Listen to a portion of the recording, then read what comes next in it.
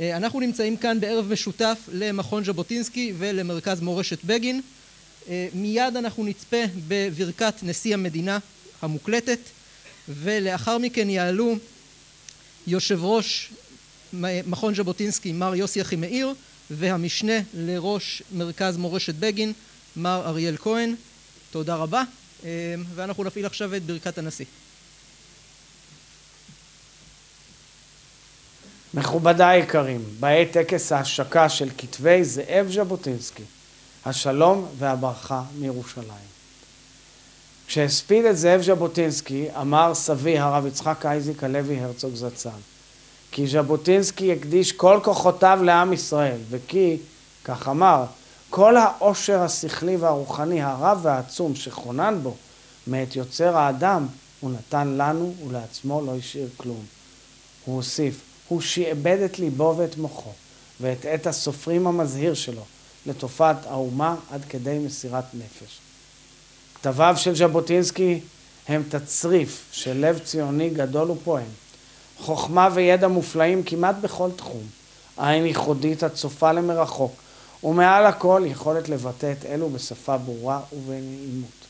הוצאת כתבי ז'בוטינסקי היא משימה לאומית חשובה, ומי שמסר נפשו למען האומה ראוי כי כתביו הניצבים כאן מאחוריי יראו אור ויהיו מעיין של חוכמה לחוקרים, להוגים ולאנשי חינוך. זוהי חובה מוסרית שלנו ולא פחות מכך. צורך אמיתי כדי שהדור הצעיר ידע על שורשי ההדר הבית"רי של ז'בוטינסקי וכמובן ידע ליישם רעיונות בתחומי המדינה, הצבא, הכלכלה, החברה, התרבות וכמובן הדמוקרטיה במדינה יהודית ודמוקרטית שכל רשויות השלטון צריכות לדעת לדבר ולשמור על כבודן של זו למול זו. כי המחשבה הז'בוטינסקאית חיונית לקיום המדינה והחברה שלנו. אני יודע שעוד לא הגענו לחצי הדרך, ועד לסיום הוצאת שלושים הכרכים עוד חזון למועד, ואני מבקש לחזק את כל הנושאים בנטל, ובראשם העורך חברנו אהובנו פרופסור אריה נאור. תודה למכון ז'בוטינסקי ולמר יוסי אחימאיר העומד בראש, תודה למרכז מורשת מנחם בגין ולמנהלו הרצל מקוב ולכל העושים למען מפעל חינוכי, ציוני ותרבותי ראשון במעלה. היו ברוכים וכברכת הבית"רים תל חי.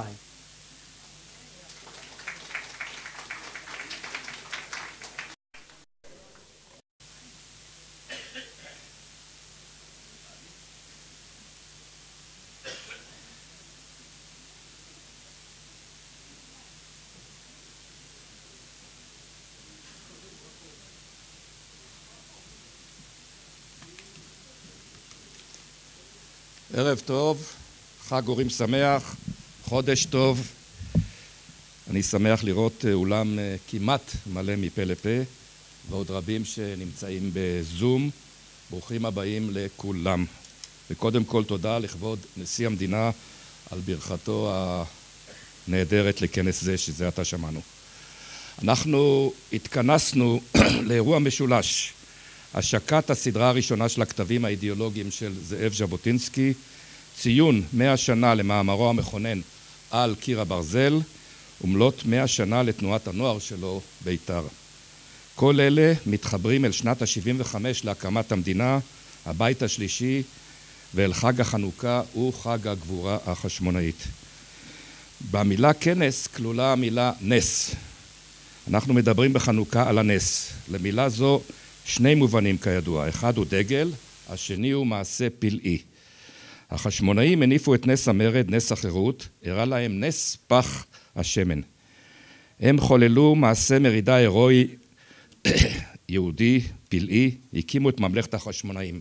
ניסים ונפלאות. מתתיהו וחמשת בניו הצליחו קודם כל בזכות רוח האמונה, הלחימה וההקרבה שפיענה בהם. בזכות עוצם זרועם ונחישות רוחם, להילחם בארצם, מולדתם, בכובש הזר הסלוקי, בצורר אנטיוכוס אפיפנס וגזרותיו נגד הדת היהודית, וכמובן נגד המתייוונים בעם. כמובן, הם לא חיכו עד שז'בוטינסקי יכתוב את קיר הברזל שלו. לפני כמאה שנה אמר מורנו ורבנו זאב ז'בוטינסקי בדברו לפני חברי אגודת מכבי בירושלים, ואני מצטט את ז'בוטינסקי: מדוע מעריצים אנו את הגבורה? הם אומרים, מה ליהודי ולגבורה? לא בחיל ולא בכוח, כי אם ברוח. הכוח הרוחני הוא הכוח האמיתי. מסורת ביהדות, מסורת הרוח היא, ולא מסורת הכוח הגופני. אני אינני מאמין בהשקפה זו. יש לנו גם מסורת הרוח וגם מסורת הכוח. ועל כך יעידו גיבורי ישראל בתקופות שונות. אמנם הקומץ של החשמונאים, אלה המעטים, שנלחמו נגד הרבים, הטהורים הללו, שקמו נגד הטמאים, רוחם הייתה חזקה, אבל לא פחות ממנה עמדה להם גבורת זרועם. בעזרת רוחם החזקה ידעו גם להרביץ מכות חזקות, כפי שמתבטאים הצעירים בגימנסיה היפואית, כלומר גימנסיה הרצליה. ערך הרוח, מוסיף ז'בוטינסקי, אינו מוטל בספק, אבל מה בצע בה אם אין מאחוריה כוח? כשם שאין תפארת הגבורה לבעליה אם חסרה בה הרוח, כן אין תועלת ברוח אם חסרה בה הגבורה.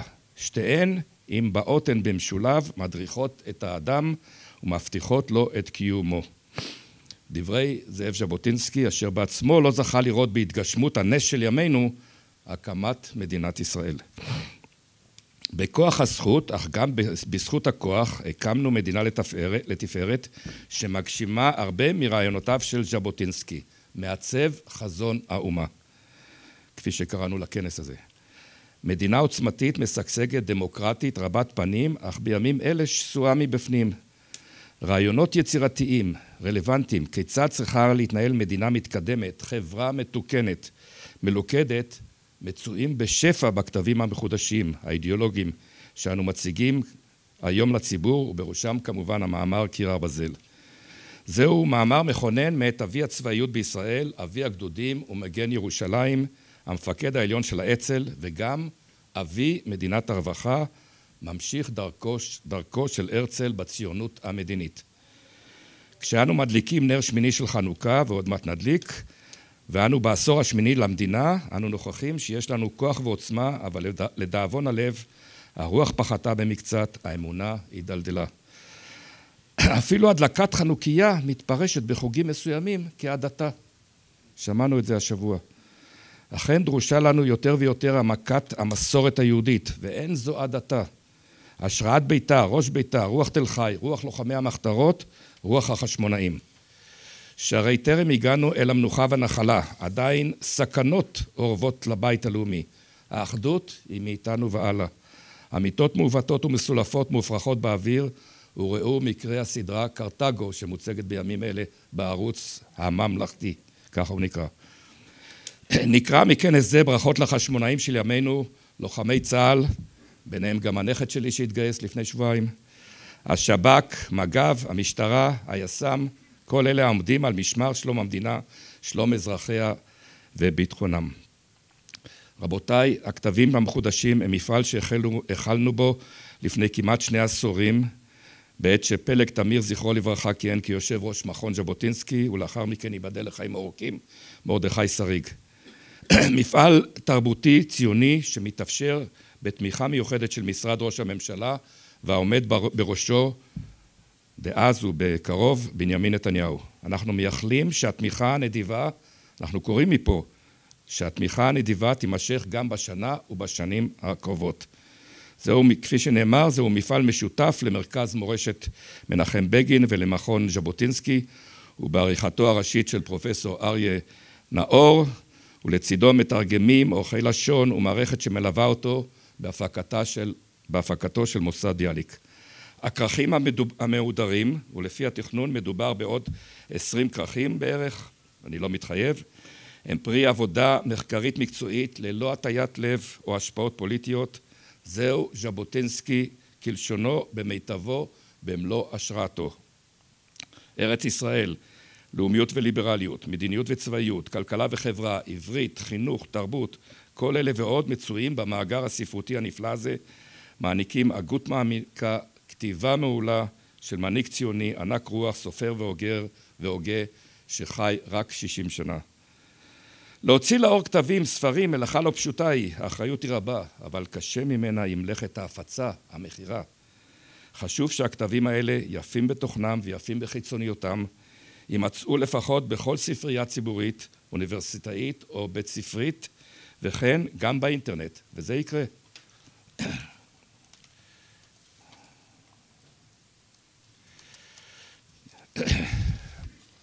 בינתיים אתם יכולים לרכוש אותם כאן, מי שכבר רכש ומי שעוד לא רכש, הן כסדרה מלאה והן ככרכים בודדים.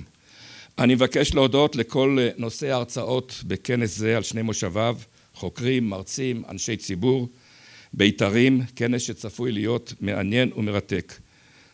תודה מיוחדת למי שעמלו על הפקתו, מנכ"ל מכון ז'בוטינסקי עורך דין אלעד פופוביץ' ושותפיו במכון ז'בוטינסקי, וכן שותפינו במרכז מורשת מנחם בגין בראשות מר הרצל מקוב, נשלח לו מכאן איחולי רפואה שלמה, ונקדם בברכה את, גם את אריאל כהן וגם את תמר דרמון, אני מקווה שהגיע, שישמיעו את דברם. אז שיהיה לכולנו ערב נפלא, תודה רבה לכם, וכמו שאמר הנשיא, תל חי.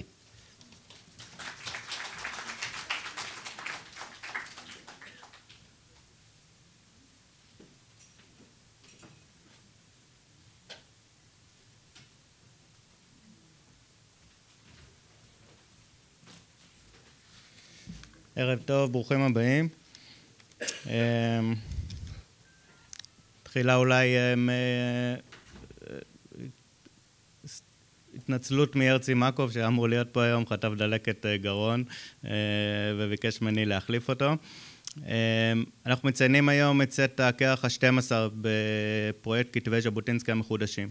כשאני הייתי בבית, אני חשבתי שפרופסור נאור פעם אמר לי שזה אנחנו לקראת המחצית. הנשיא אמר שלושים ויוסי כבר אמר יש עוד עשרים לפחות. אז, אז בכל מקרה אנחנו יודעים שעשינו הרבה אבל יש עוד הרבה מאוד לעשות. ואנחנו חושבים שנקודת ציון מאוד משמעותית. אנחנו לפחות ב... ב בשלב הזה שהפרויקט של מרכז בגין גם נכנס לשותפות הזאת, זה היה לפני 11 שנים, השקענו מאות שעות של עבודה עם אנשי מקצוע שונים, עורכים, מתרגמים, עורכי לשון, ארכיונאים. אחרי 11 שנים אנחנו בפחות ממחצית העבודה. הנתון הזה קודם כל מראה על העושר הבלתי נתפס של ז'בוטינסקי כהוגה דעות, סופר, משורר ומתרגם.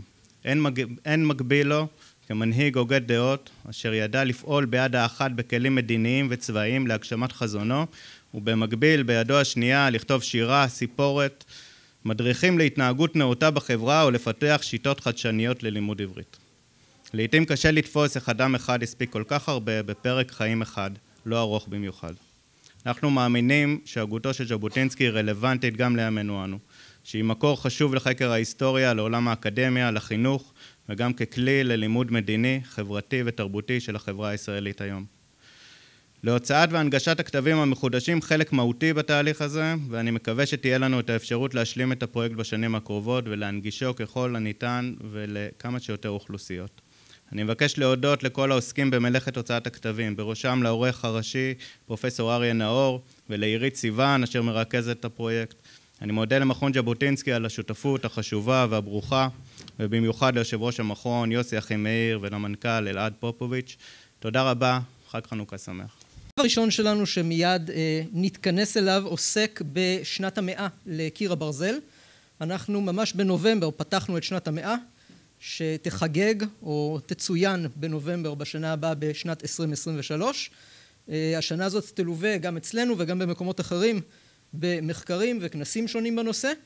אה, אנחנו מיד נזמין את חברי הפאנל, אה, היות ואנחנו מאמינים גדולים בערך ההדר ובפמיניזם הז'בוטינסקאי, אז תעלה ראשונה הדוקטור סגן אלוף במיל ענת ברקו. אה, ושני החברים הנוספים לפאנל לא יעלו בשם דרגתם, אלא בשם התאריך שבו הם הסכימו להיות שותפים לפאנל. פרופסור פרופסור אלוף משנה במיל גבי סיבוני והאלוף במיל גרשון הכהן. מנחה הפאנל אמיר אורן, עיתונאי הארץ, בבקשה. שלום, ערב טוב. המארגנים ביקשו להסדיר מזג אוויר דומה לזה שבו ז'בוטינסקי כתב ברוסיה את קיר הברזל, זו כבר הצלחה מצידם, וכפי שאמר אלעד, אני לא בהכרח שייך למכונים המכובדים שארגנו את הכנס, אבל הוא פשפש ומצא שאני חולק עם ז'בוטינסקי את יום ההולדת, 17 באוקטובר, שזה אגב תופעה מעניינת, בן גוריון נולד ב-16 באוקטובר, שרת ב-15, היה כנראה משהו בינואר הקר באותן שנים שגרם לפסקת ההתעברות. דוקטור גבי, פרופסור גבי סיבוני, סליחה, הספרדים, אורו הספרדים, העניקו לגבי את התואר פרופסור באוניברסיטה המדרידאית שבה הוא מלמד, אז לא נשאר עם דוקטור. שאלה, עברו מאה שנה מאז, או יעברו בקרוב, מאז המאמר על קיר הברזל, הוא נכתב בתקופה אחרת לחלוטין, אחרי מלחמת העולם הראשונה, שכמובן לא נקראה כך אז כי עדיין לא הייתה השנייה, המלחמה הגדולה, וכאשר בראשו של ז'בוטינסקי היו אימפריות וקולוניות. הוא גם כותב על המתיישבים כקולוניסטים, והוא מדבר כאשר בריטניה הגדולה באמת היא האימפריה, אחרי האימפריה העות'מאנית. עוד תהיה תכף שאלה לענת בהקשר הזה, אבל שאלה אליך, האם זה עדיין רלוונטי? האם מה שכתב ז'בוטינסקי לפני 99 כמעט 100 שנה רלוונטי גם לימינו?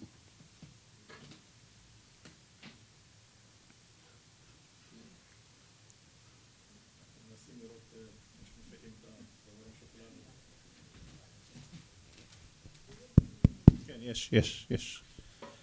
כן, אמיר, תודה רבה. אני חושב שכשאנחנו מסתכלים על התמה של קיר הברזל, למי שבא מהדור שלנו עכשיו, כאילו, אנחנו עכשיו נראה מה, מה מיוחד בזה, מה כאילו, מה, מה הקטע? הרי ברור שאם לא נגן על עצמנו, לא נהיה, ואם אנחנו מבינים את המאזן הכוחות מול האויבים שלנו. אבל ככל הנראה, ככל הנראה, בתקופתו זה היה, הייתה חשיבה פורצת דרך. כי אחרים חשבו שכמו שנאמר כאן על ידי יושב ראש יוסי אחימאיר שהרוח, הרוח תספיק לנו, אבל לא היא. הרלוונטיות, אני חושב שאפשר לראות קשר מלא בין, אנחנו רואים מאה שנה, בשנת 23, מאה שנה לקיר הברזל, 75 שנה למדינת ישראל, 2023 גם 50 שנה למותו של בן גוריון, שלמרות חילוקי הדעות אימץ את הדברים בפועל ובנה את תפיסת הביטחון על הבסיס הזה, מתוך ההבנה שאנחנו, אין לנו את הפריבילגיה לנהל מערכות ארוכות או לנהל מערכות שבהן לפעמים מפסידים ולפעמים מנצחים כמו אימפריות גדולות, ציינת אמיר. אין לנו את הפריבילגיה הזאת ואנחנו חייבים לעמוד כחומה בצורה מול האויבים שלנו. הרלוונטיות היום היא פי כמה מונים של העניין הזה. אנחנו צריכים להסתכל על קיר הברזל לא רק בראייה ביטחונית קשה, כמו כוח צבאי ויכולת טכנולוגית, אלא להסתכל עליו מבחינה רחבה, כי אנחנו נמצאים גם, גם זה צוין פה בדברי הפתיחה, במשבר לא קטן, במשבר חברתי לא קטן. ואני רואה ש, שחלק, אולי קטן, אבל קולני מאוד, בציבור, איבד את האמונה בצדקת הדרך, ככה אני מרגיש. זאת אומרת, ואם אנחנו נאבד את האמונה בצדקת הדרך ונאבד את האמונה של, של, של הציונות הבסיסית, של המקום של היהודים זה ארץ ישראל. מזכות, יש, ייקחו את זה לעניין הדתי ויש כמו בן גוריון ייקחו את זה לעניין ההיסטורי, אבל יש לנו זכות כאן ואנחנו פה בדין וזה המעשה המוסרי ביותר ש, ש, שיכול להיות. ואם אנחנו מאבדים את האמונה הזאת, אז קיר הברזל הזה, כמה שלא נהיה חזקים וכמה שלא נהיה חזקים מבחינת האמצעים וה, וה, והטכנולוגיות והנשקים וכל מה שיש לנו, הוא יהיה כקליפת השום. ופה אני חושב שהאתגר הגדול שלנו לראות שאנחנו מחנכים ואנחנו מביאים את, ה, את, ה, את המיעוט הזה, שאני מקווה שהוא מיעוט, הוא מאוד קולני, אני, לפעמים גם אני מתבלבל בהיקף שלו, אבל אני מאוד מקווה שזה מיעוט, שאיבד את האמונה בצדקת הדרך, ואנחנו לוודא ש, שאנחנו מגדלים את הדורות הבאים באמונה בצדקת הדרך, בהבנה הזאת, וזאת ההבנה של ז'בוטינסקי, שבלי הכוח מצד אחד ובלי היכולת המוסרית מצד שנייה וההבנה המוסרית שהמעשה הציוני הוא המעשה המוסרי ביותר והוא הצודק ביותר שיכול להיות אז אנחנו נאבד את ה... אה, ואני לא רוצה להיות פסימי, אני מאוד אופטימי כי התוצאה היא לא תהיה שהחזון הציוני יקרוס אלא היא תהיה שפשוט יעלה לנו בהרבה, בהרבה אבדות והעימותים יבואו וכשאנחנו נאבד את האמונה בצדקת הדרך פשוט יקומו מי שיקומו להילחם ואנחנו נקום להילחם אבל, אבל המחיר יהיה אה, מאוד גדול. אז זה אני חושב כאילו במעטפת קטנה על העניין של הרלוונטיות לימינו אנו. תודה. אנחנו כאן בבית ציוני אמריקה שאולי זו סתירה פנימית. בן גוריון ודאי היה אומר אה, ז'בוטינסקי היה ציוני שנפטר באמריקה אבל אה, כאשר הוקמה המדינה, המחשבה על כך שיכולים להיות ציונים שאינם מגיעים הנה, אלא רק תומכים מבחוץ, לא תמיד אה, התקבלה בארץ באהדה, למרות התמיכה האמריקאית. אה, דוקטור ברקו, חברת הכנסת לשעבר, ענת, המומחיות שלך היא בין השאר בטרור, בפלסטינים. על קיר הברזל מתייחס לא לאפשרות שמדינות ערב תתקופנה את ישראל שעדיין לא הוקמה. בכלל המזרח התיכון רק אה, התהווה והתעצב, התחיל באותן שנים תחת חסותן של מעצמות מנדטוריות. ועיקר המחץ בטיעונים של ז'בוטינסקי מופנה אה, כלפי אותם תמימים שחושבים שאפשר לדבר עם הערבים, שהיום היינו קוראים להם פלסטינים, שלא מעמדת כוח. אז לנו זה נשמע בנאלי, הרי זו גם סיסמה שרייגן אימץ של אה, אה, שלום מתוך עוצמה. והשאלה לגבי קיר הברזל היא האם הוא גם מסמן הפרדה? האם כששמים את הקיר הזה בין שתי הקהילות, הכוונה היא שלא יכולה להיות התערבות שלהן זו בזו, כדי ש... האיבה תתנפץ על צידו החיצוני של הקיר.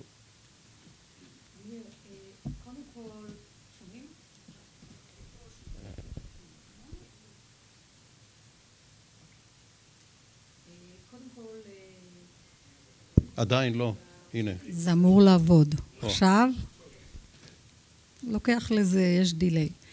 אה, קודם כל, אה, אני מברכת על הכנס, ואני רוצה לברך כאן אה, שני אנשים מיוחדים שיושבים לגביי במיוחד. זו מזכירת הכנסת לשעבר, ירדנה מלר הורוביץ, ופרופסור אריה נאור, חברי, ולהזכיר את מירה נאור, כבוד השופטת, הנשיאה שהיא הייתה חברתנו הטובה, באמת אני אומרת את זה בהתרגשות, באהבה ובגעגועים. אז אה, ותודה יוסי שהזמנתם אותי, תודה לחברים שיושבים איתי בפאנל, לפרופסור סיבוני, לאלוף במילואים אה, הכהן.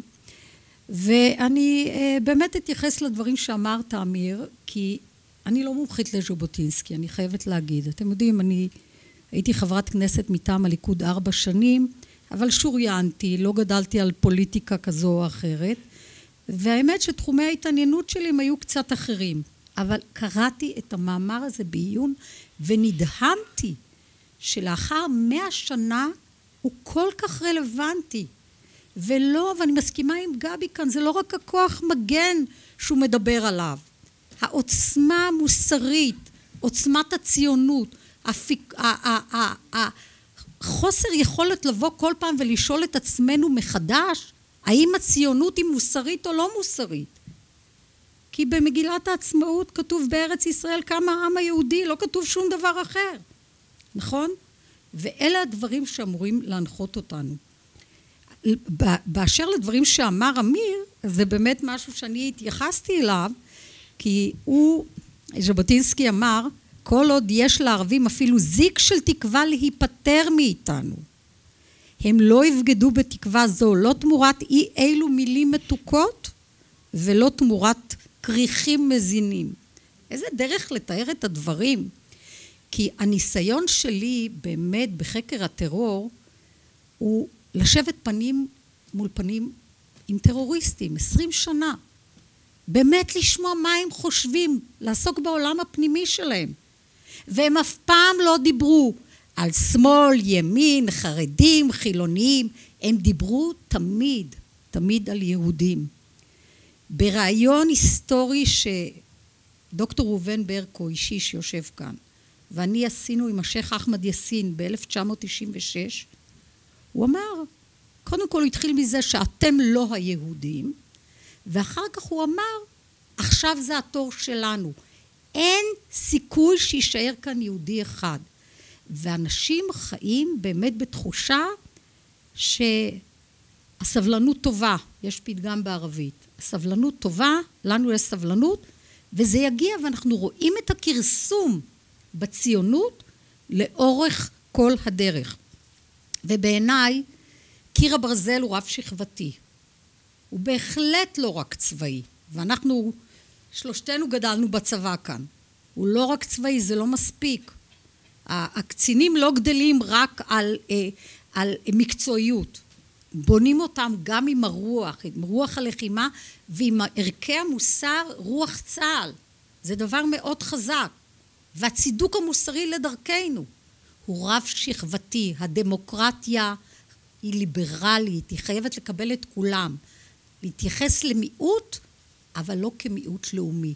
זאת אומרת שבראייה שלי, גם חוק יסוד הכנסת הוא קיר ברזל, אם היו מכבדים אותו קצת יותר טוב את סעיף 7א ולא מתעסקים עם כל מיני שינויי חוקים בנוגע לגזענות, אסור לגעת בחוק הזה, אבל לא מאפשרים לאנשים שתומכים בטרור לכהן בכנסת ישראל בניגוד לחוק שקובע שמי שלא מכיר במדינת ישראל כיהודית ודמוקרטית לא יכול לכהן בכנסת ואני רק על קצה המזלג אה, אקח את אה, בל"ד, עזמי בשארה, חנין זועבי, אה, גטאס שהבריח טלפונים סלולריים לכלא לאסירים ביטחוניים ויש עוד רשימה ארוכה ובכל זאת הם היו בכנסת.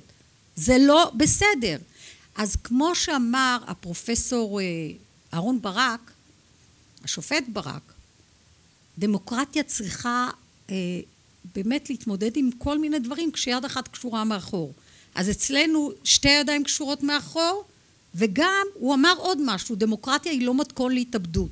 אנחנו צריכים לעשות התאמות ולהבין שהקיום שלנו כאן הוא באמת לא מובן מאליו.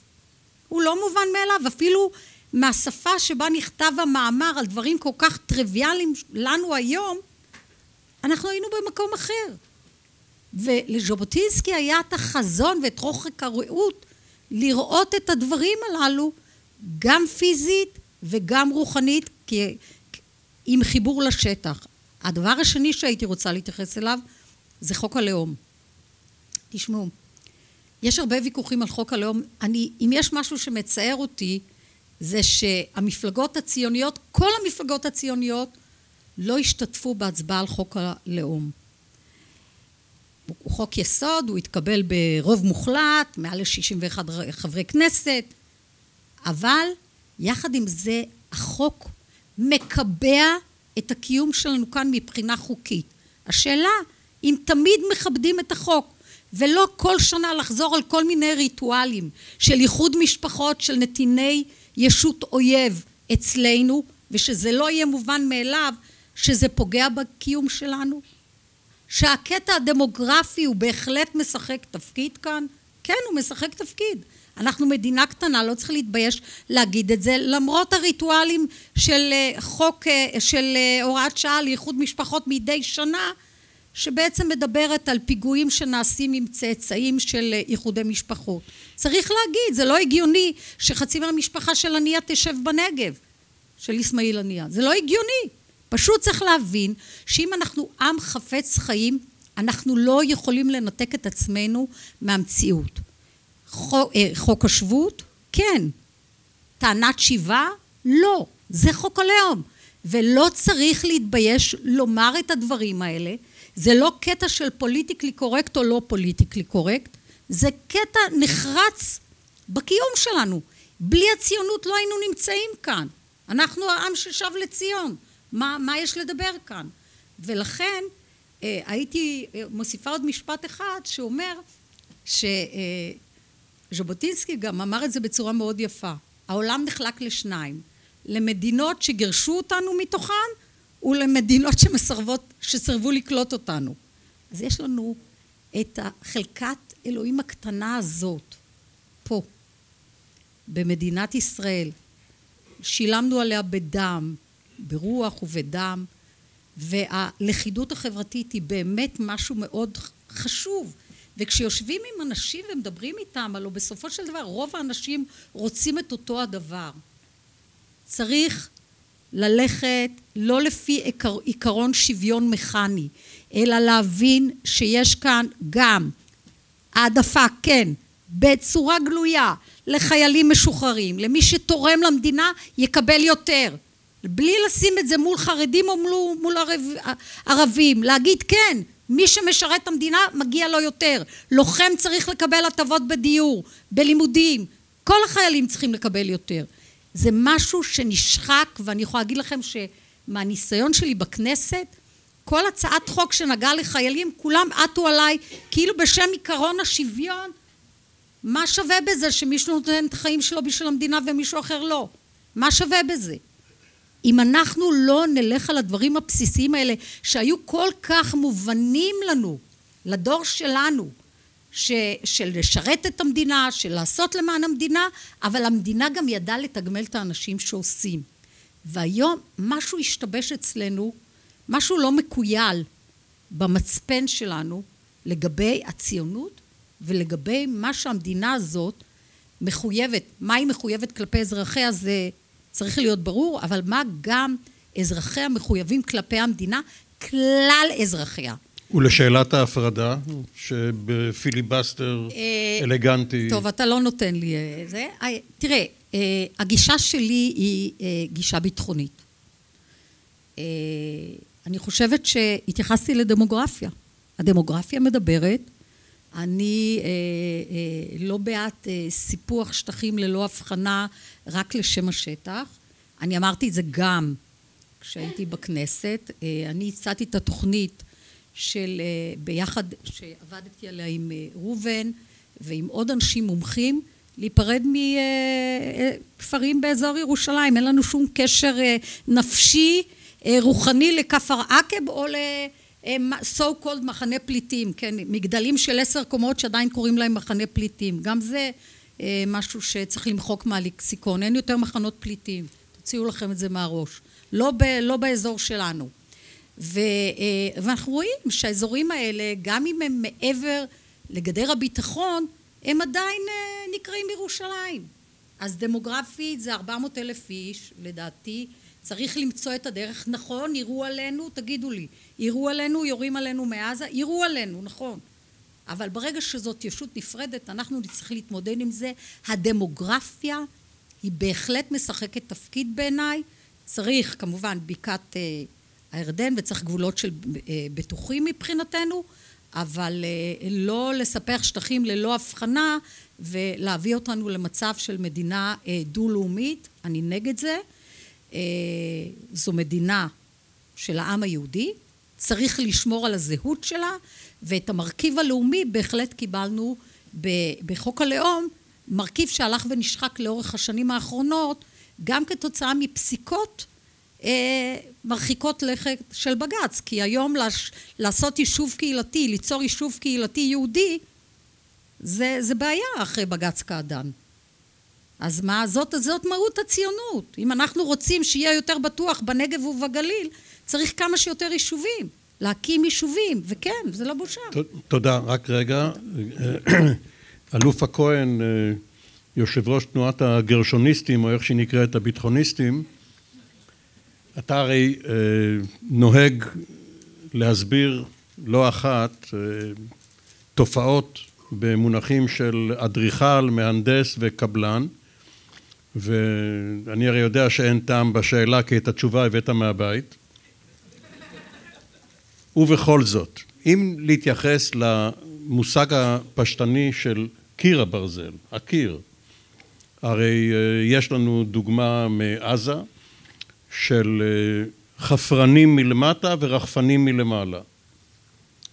וכאשר ז'בוטינסקי כתב, רק התחילו חילות אוויר והתיאוריות של בילי מיטשל ודואה רק התחילו להיכתב, הכל השתנה, טילים, רקטות.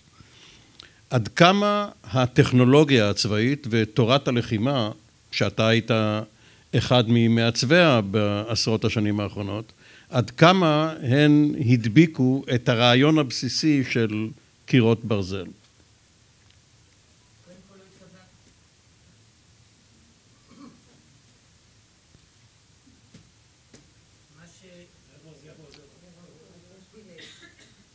לא על זה התכוונתי לדבר, אבל כמו שאמרת, אה, אני כן הולך לענות על השאלה. לא, אני כן הולך לענות על השאלה. אני גם כתבתי על זה חוברת, על גדר ההפרדה, אה, שקראתי לה אה, גבול מדיני במסווה ביטחוני. אני עקרונית, מבחינה צבאית, חושב שגדרות זאת הזיה. כי אין גדר שלא ניתן לעבור אותה ואם מסתכלים על הגדר שאין כדוגמתה בעולם לא הייתה כדוגמתה בעולם גם לא החומה הסינית כי היא לא חפורה שלושים מטר מתחת לאדמה עם סנסורים. מסביב לעזה על פחות משמונים קילומטר מוצבת אוגדה וגם אותה מצליחים לעבור פיזית. אני לא מדבר על רקטות. ומהים אם ניקח את הרעיון הזה ונשכפל אותו לאורך כל אה, יהודה ושומרון זה אומר שזה סדר כוחות שאין לצה"ל. כי זה 700 קילומטר תעשו חשבון מתמטי מה אומר 80 קילומטר אוגדה אחת 700 קילומטר כמה אוגדות. אה, אין מצב שתהיה גדר שעומדת כחומה ואיש לא עובר אותה. תרשה לי רגע לשסע אותך בספר שאחד מאורחיו היה גבי סיבוני לחמישים שנה למלחמת ששת הימים הוזכר בין השאר הוויכוח שהיה במטה הכללי לפני ורבין היה נגד גדרות כולל כולל בתקופת 93-4 כשהציעו גדר הפרדה רבין היה נגד. לא אבל השאלה אז בשנות ה-60 הייתה שאלה של אשכול. אשכול שאל את, ה, את היונגרמן שלו האם יש טכנולוגיה? האם אפשר להביא מווייטנאם טכנולוגיה שהאמריקאים הסכימו לתת כדי לגדר בעיקר את יישובי השרון זה היה, או קצת... אה, לכיש, מקומות כאלה, כן. והתשובה של המטה הכללי הייתה אין טעם ואין טכנולוגיה. אתה אומר שגם אם לא הייתה טכנולוגיה, לא כדאי. לא רק שלא ש... כדאי, וחיילים שאתה שם אותם לאורך גדר הם הופכים לכלבי שמירה הכי מנוונים. ואם תשאל היום חיילים בצה"ל איפה הם רוצים לשרת, ביהודה ושומרון או בעזה, הם לא רוצים בעזה, אין שעמום גדול מזה, כי זה רוטינה של אה, כלבי שמירה. חיילים צריכים דינמיקה של מרחב אה, יצירתי. גרשון אחת לשנתיים מייצר אה, כותרת פרובוקטיבית וכבר שיאמם לו כמו לחיילים בעזה. לא, לא, אין פה פרובוקציה, אני טוען על זה הרבה שנים, אבל אני חוזר מכאן אל ז'בוטינסקי. כשז'בוטינסקי דיבר על קיר ברזל וגם אה, מייצג אותו נאמנה, לדערכתי, אלוף איציק בן ישראל בספר שלו על תפיסת הביטחון הלאומי, והוא פותח את הספר עם דיבור על קיר הברזל של ז'בוטינסקי והוא מדגיש שהוא לא דיבר על פיזיקה הוא דיבר על מטאפורה. והממדים המטאפוריים של קיר הברזל הם מרתקים. מה עוד מדבר אה, בספר איציק בן ישראל ואני ממליץ ממש לקרוא את הספר שלו. אני גם אמרתי לו זה שאחרי שנים שקראתי את זה עוד פעם אני מבין שיש בו הרבה ממה שהבנתי בהתחלה זה ההבנה שהמיישם הגדול של רעיון קיר הברזל הוא בן גוריון. ומה עוד מעניין בדינמיקה של בין ז'בוטינסקי לבן גוריון? הנחת היסוד של ז'בוטינסקי אומרת ברצון טוב זה לא יסתדר זאת הנחה מטאפיזית רוחנית ואנתרופולוגית ומדינית ומבינה את המקום שבו אנחנו נמצאים ואני מכבד מאוד את הערבים על זה שלא ניתן לקנות אותם בכל מיני מחשבות של האמריקאים שתן להם את זה ואת זה ואת זה והם ירדו מהעניין. ז'בוטינסקי הבין את זה. בן גוריון לא, הוא לא, הוא לא אמר את זה, הוא אמר שרק אה, אם יהיה מפגש אינטרסים מגובה בכוח, אפשר יהיה להגיע לפשרה. כן, אני אקריא לך את זה, הוא אומר ככה בסוף: אינני מתכוון שעם ערביי ארץ ישראל בלתי אפשרי הסכם כלשהו, בלתי אפשרי הוא רק הסכם מרצון. וההמשך הוא באקוויליבריום של כוח, שהיא נקודת שיווי משקל, שזה מטאפיזיקה אחרת של רעיון השלום, לא שלום מטוב לב, אלא שלום כמו במערכת טרמודינמית שמגיע לנקודת יציבות, שזה נקודת שיווי משקל שמחר יכולה להשתנות.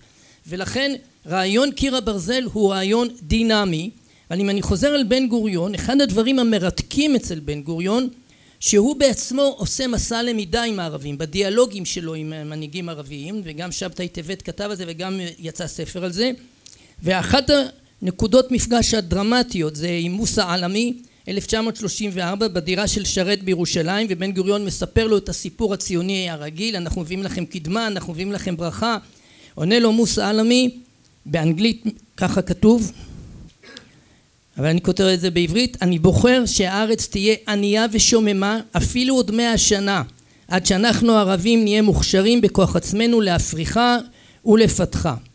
עכשיו מה שבן גוריון עוד מבין מהעניין של המפגשים שז'בוטינסקי צדק שברצון טוב זה לא ילך.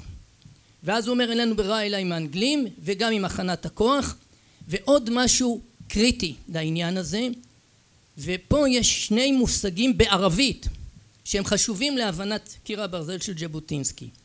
האחד זה מושג שאפשר לשמוע אותו הרבה גם בימינו שאומר נחנמה אל חטא אל וואקף זה אומר אנחנו עם הקיר שעומד ניצב איתן. מי רוצה להישען על קיר מתנדנד? אין בן ברית שישען עליך ויהיה מוכן ללכת איתך בברית אם אתה מתנדנד. זאת אומרת התנאי לבן, לזה שיהיו לך בני ברית זה שאתה תהיה יציב זאת אומרת עם כוח ומצד שני בלי בני ברית לא יהיה לך כוח. זה מעגל. אבל נקודת המוצא היא אתה צריך להקרין יציבות. והדבר השני שנמצא בתוך הרעיון של ז'בוטינסקי ופלא בעיניי שהוא הבין אותו כי הוא יסוד עמוק בהבנה האמונית של האיש המאמין המוסלמי והוא מושג שנקרא מרחלת אל הסתדעף זה אומר מרחלה זה שלב הסתדעף חולשה. יש באסלאם מצב שאומר לאיש המאמין שמחויב לג'יהאד תשמע אם המציאות לא מאירה לך פנים אתה בשלב חולשה תחכה לא היום. אולי מחר יבוא הזמן שלך. זאת אומרת המוסלמי יודע להכיל את קשיי המציאות הוא לעולם לא זונח חלומות הוא דוחה אותם ולכן כל כך חשוב המושג האמוני סבר הסבלנות ואנחנו רואים מולנו כוחות עם הרבה סבלנות שמיצו את שלב החולשה במובן הזה שהם מזהים עכשיו התגברות של יכולותיהם בין היתר כי אנחנו מקרינים חולשה והפסקנו להקרין קיר ברזל בין היתר מה זה אומר הפסקנו? אני מסתכל על מפת הבנייה של מדינת ישראל. משרד השיכון וכל תוכניות רשויות התכנון דוחפות את היהודים לרצועת החוף מנהריה ועד אשקלון במגדלים. המרחב הפתוח נשאר לערבים. בסכנין עכשיו הפקידו תוכנית ל-250 אלף איש כי יש להם תוכנית מאושרת ל-120 אלף והם עוד לא מיצו אותה. בין היתר בגלל שיש שם מקום בחינם יחסית בזול והמדינה נותנת להם אדמות בזול 20 אלף שקל למגרש מגיעים גם אנשים עם תעודת זהות ירושלמית או תושבות ירושלמית מג'בל מוכבר ומקומות אחרים. והיישובים היהודים הולכים ומתכנסים ומצטמצמים והופכים לבתי אבות. זה הקרנת חולשה. בעוד שלערבי בכפרים יש שבאב ליהודי יש אוסף של זקנים וזקנות. זה הקרנת חולשה זה לא קיר ברזל. את זה הבינו במפא"י מפא"י הבינה שקיר ברזל זה דינמיקה של חלוציות מתמדת. מה שזה אומר מאבק מתמיד. זה אומר מצב היסוד הוא מאבק ושורה תחתונה אני אסכם ואני אומר להערכתי בן גוריון הוא התלמיד הגדול של ז'בוטינסקי והחולשה שאנחנו מגלים היום היא במידה רבה בגלל ההיעלמות של מפא"י. כי כשאני מדבר עם דן מרידור למשל שהוא ז'בוטינסקאי ומעולם לא היה מפא"יניק. ואני אומר לו שאנחנו במאבק ואין התיישבות וההתיישבות נעצרה גם בכלל תוכניות מתאר. הוא אומר לי תקשיב איפה שאנחנו לא רוב יהודים אין לנו סיכוי לריבונות. אומר לי, אני אומר לו אתה מתכוון שגם בנגב ובגליל. בגליל המרכזי היהודים היום 85 אחוז והם הולכים להיות עוד פחות. הפוך הערבים 85 אחוז היהודים מצטמצמים 15 אחוז ופחות. ובנגב באר שבע עיר של 200 אלף איש 250 אלף איש בקושי ומסביב מעל 200 אלף בדואים ומי יודע לספור. זאת אומרת איבדנו את המומנטום של ההתיישבות תפקידה של ההתיישבות הוא לייצר חיכוך מתמיד. הוא חלק משיווי המשקל. ומה זה אומר איבדנו את מפא"י? אני אקריא לכם מה אומר רבין ובזה אני מסיים. רבין בסיכום יום האדמה שנת 76 מצפים בגליל זה רבין. 23 במאי דיון ממשלה והוא אומר הוא מקבל את המלצת הוועדה הבין משרדית הוא לא הקים ועדת אור או משהו כזה. הוא מפא"יניק מקימים ועדה בין משרדית לא הולכים לשופטים. מפא"יניקים מסדרים את העניינים ביניהם. ככה אני מאמין צריך לשלוט. והוא אומר אני מקבל את ההמלצות אבל תוך כדי אמירה ברורה שמה שהמדינה מציעה לערביי ישראל זה כיבוד או טיפוח המורשת התרבותית דתית נקודה איננו יוצרים כאן לא ייחוד אתני ולא ייחוד לאומי אלא מיעוט ערבי עם כיבוד דת ותרבות במדינה יהודית. ואם לא נזכיר את זה לכל מי שהולך לטפל ברשימת שוויון הזכויות שאנחנו נותנים להם נאבד את הצפון. נאבד את הצפון מטאפורית וליטרלי. זה רבין מדינת ישראל של היום לא יכולה לדבר על ייהוד הגליל כי איבדנו את מפא"י. מפא"י יכלה לדבר על ייהוד הגליל. מבחינה זאת מקיר הברזל של ז'בוטינסקי הלכנו למפא"י, מפא"י נעלמה, אין לנו קיר ברזל. גבי, שתי שאלות. השנייה מתייחסת למומחיות שלך בתחום הסייבר. והיום אה, קירות ואוקיינוסים אינם בולמים את האלקטרונים שעפים אה, במרחב. האם זה ישנה את התפיסה? אבל עוד לפני זה, הרי כל תפיסת הביטחון, וגרשון הזכיר את אה, בן גוריון, בן גוריון, ידין, אחרים שבנו את תפיסת הביטחון מיד אחרי תש"ח, מדברת על העברת המלחמה לשטח האויב. מהשטח המצומצם של ישראל בקווי שביתת הנשק 49, משום שאי אפשר לספוג פלישה קרקעית, אי אפשר שהקווים הקצרים יבוטרו, אבל זה אומר קיר. קיר שממנו אתה מעביר את המלחמה החוצה. איך זה מסתדר, ואחר כך תזכיר את הסייבר. אני... אה,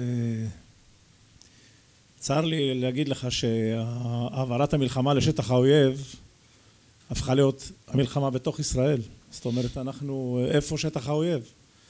אה, שומר החומות היה דוגמה שפתחה את העיניים להרבה, כולל לי. ולמרות שראינו את הדברים ב-76, ביום האדמה ב-76, הייתי חייל טירון בערבה סכנין, באזור שם, היינו ממש, התעסקנו עם, ה, עם ההתפרעויות האלה. אה, ולא הבנתי את זה אז, כי הייתי צעיר כאן, לא מספיק, אבל אני רואה עכשיו שמה זה תפיסת הביטחון, העברת המלחמה לשטח האויב, האויב בתוכנו, אנחנו צריכים להבין את זה, נמצאים בפנים והתרחישים הם לא תרחישים, תרחישי קיצון, אלא תרחישים סבירים, הם שבאירוע גדול, אירוע ביטחוני גדול, אנחנו נצטרך להתמודד פנימה. ההתמודדות החוצה תהיה ההתמודדות הקלה של צה"ל. היא תהיה בסדר, אז אנחנו מבינים, אוקיי, אוגדות, גרשון דיבר, זה, אוקיי. יעשו את העבודה החוצה. אבל פנימה אנחנו לא מוכנים, אנחנו לא בנויים, אנחנו לא בזבזנו שנתיים כבר ועוד אנחנו נמשיך לבזבז בלבנות את כוח המגן פנימה כי אנחנו נתעמת עם האיום הזה יותר מוקדם ממה שאנחנו חושבים. אז, אז פעם אחת בעניין תפיסת הביטחון אני חושב שהיא מחייבת עדכון בהקשר הזה של העברת המלחמה לשטח האויב אלא הבניה של היכולת המענה כמו שאמרתי אני קיר הברזל המושג הזה בשבילי כיום כשאני מסתכל עליו הוא נראה טריוויאלי ברור מאליו הרי מה אנחנו אה, אנחנו חייבים את היכולת הזאת. אבל אבל זה פעם אחת שאנחנו צריכים לבנות את זה גם פנימה. אה, עוד מילה אחת לעניין של אה, לפני שאני אגע בסייבר עוד מילה אחת לעניין הזה אנחנו משום מה אני תמיד מביא את הדוגמה אנחנו משום מה דואגים לצייד את עצמנו בעוד שריון ועוד אמצעי לחימה כשהבעיה שלנו היא בכלל במוח. זה תמיד, אני, אני נותן את הדוגמה הזאת ואני נותן אותה שוב, מזכיר לי אביר מימי הביניים שיש לו עוד שריון ועוד שריון ועוד שריון והוא מצטייד בשריון אבל נמלים נכנסות לו בין הסדקים של השריון ואוכלות אותו מבפנים כמו, כמו הסיפור המזעזע בסוף הספר של מאה שנים של בדידות של מרקס שהנמלים אכלו את התינוק האחרון למשפחה. זה פשוט מה שקורה לנו ואם אנחנו לא נתעשת ולהבין שההשקעות שלנו ברעיון בתפיסת הביטחון ההיא שאומרת בוא נעביר את הלחימה לשטח אויב נקנה עוד מטוסים עוד טנקים וזה זה פשוט לא בכיוון. אנחנו פשוט הבעיה היא פה ואנחנו מסתכלים שמה. עכשיו לעניין הסייבר שגם הוא חלק מה, מהתשובה. ודאי שיש כלים והסייבר הולך ותופס יותר תאוצה ויותר אה, יותר, אה, אה, מקום והיכולות גדלות ולא רק היכולות של פגיעה ישירה בסייבר אלא גם אה, השימוש במרחב הסייבר ככלי שמשפיע על התודעה של האנשים שזה גם אירוע גדול שאנחנו מנסים להבין אותו ואנחנו בתוכו. וכולנו אה, נמצאים תחת מבצעי תודעה של אחרים לפעמים של עצמנו אנחנו ופוגעים ביכולות שלנו והבנה שלנו. וזה שאמרתי דיברתי על אובדן האמונה בצדקת הדרך שזה גם חלק מהדברים האלה. הסייבר הוא עוד ממד כמו ממדים נוספים שמאפשר אה, לסכל כל ניסיון להשתמש בכלי הביטחון הקשה ולהגיד אוקיי אנחנו נצטייד. הוא עולה פחות כסף הוא כלי של החלשים שיכולים לעשות בו שימוש אה, לא קטן ואנחנו צריכים גם להיות מוכנים לעולם הזה בוא נאמר ככה קשת האיומים היא גדולה השמיכה שלנו קצרה וכדאי שנדע איזה, איזה אצבעות ברגליים לכסות ולא נשאיר חלקים כאלה חשופים כדי שביום פקודה אה, יקרטו לנו אותם. ענת את היית אה, בהיותך בכנסת ועדת חוץ וביטחון את היית חלק מהדרג המדיני ואת רואה את הדברים גם מהזווית הזו של בריתות. חשבתי שתגיד שהייתי יושבת ראש ועדת משנה להגנה בסייבר, אבל... והיית יושבת ראש אה, ועדת משנה להגנה בסייבר, הנה זה נאמר, התוכי חזר על מה שאמרת. והבריתות האלה, ובראשן עם ארצות הברית, ההישענות עליה, בכל זאת אנחנו למרות הכלכלה המשגשגת והגמישות המופלאה בתקציב ואפשר לחלק לכל מגזר, לכל דורש, עדיין ארבעה מיליארד דולר לשנה והאישור לקבל את הטכנולוגיה המתקדמת והמערכות המתקדמות, עדיין בלי זה קיר הברזל ספק אם יעמוד. קיר הדולרים, קיר ה-F-35, קיר ההצבעות במועצת הביטחון. ככה, אה, ה-MOU הנדיב שיש לנו עם אה, ארצות הברית, התמיכה של ארצות הברית היא גם עקב אכילס שלנו. כי אנחנו צריכים לקנות את הציוד ואת האמל"ח, את אמצעי הלחימה בארצות הברית, בדולרים, לספק עבודה בארצות הברית. אז אנחנו סוגרים קווי ייצור ומחסלים יכולות בתוך שטח מדינת ישראל. אז אנחנו פוגעים ביכולות שלנו ארוכות טווח. וגם אם אנחנו משאירים קווים פתוחים לייצור נשק מסוים זה לא תמיד מספיק וזה לא תמיד משתלם. ואז אנחנו הופכים להיות תלויים יותר ויותר למשל אם חסר לנו חימוש לכיפות ברזל או לכל מיני דברים באמצע הסבבים אנחנו תלויים בארצות הברית ואתה יודע והקש בגג והקש בדלת וכל מיני דברים שאנחנו כולנו מבינים על מה מדובר. לכן בהחלט להסתמך ולהיות בני ברית זה חשוב אבל אנחנו חייבים לשמור על היכולות שלנו. אנחנו רואים שיש היום מלחמה באוקראינה הורגים אזרחים שוחטים שם אזרחים מפגיזים אזורי מגורים. מי בא לעזור להם אז מספקים להם נשק אבל אף אחד לא יעשה את המלחמה הזאת במקומנו. ומה שגבי אמר הוא נכון. צריך להבין נפל דבר בישראל. מה שהיה בשומר חומות אי אפשר למחוק אותו. גם לא בעונשים המגוחכים שמקבלים אנשים שעשו לינצ'ים ביהודים. אי אפשר אי אפשר שיפרצו לבסיס צבאי בצאלים או יפרקו מכוניות בחניון של צאלים למתאמנים שבאים בבסיס הכי גדול של מילואימניקים, לאימונים, ונכנסים לשם, פורצים וגונבים נשק, מפרקים רכב קרבי משוריין תוך כדי תנועה, מגדלים חשיש בשטחי אש, ואני בוועדת החוץ והביטחון אקבל תשובה ואני לא אגיד לכם מפאת כבודם של האנשים את שמותיהם הם מאוד חשובים במדינת ישראל. מה את רוצה שנראה על אזרחים ישראלים?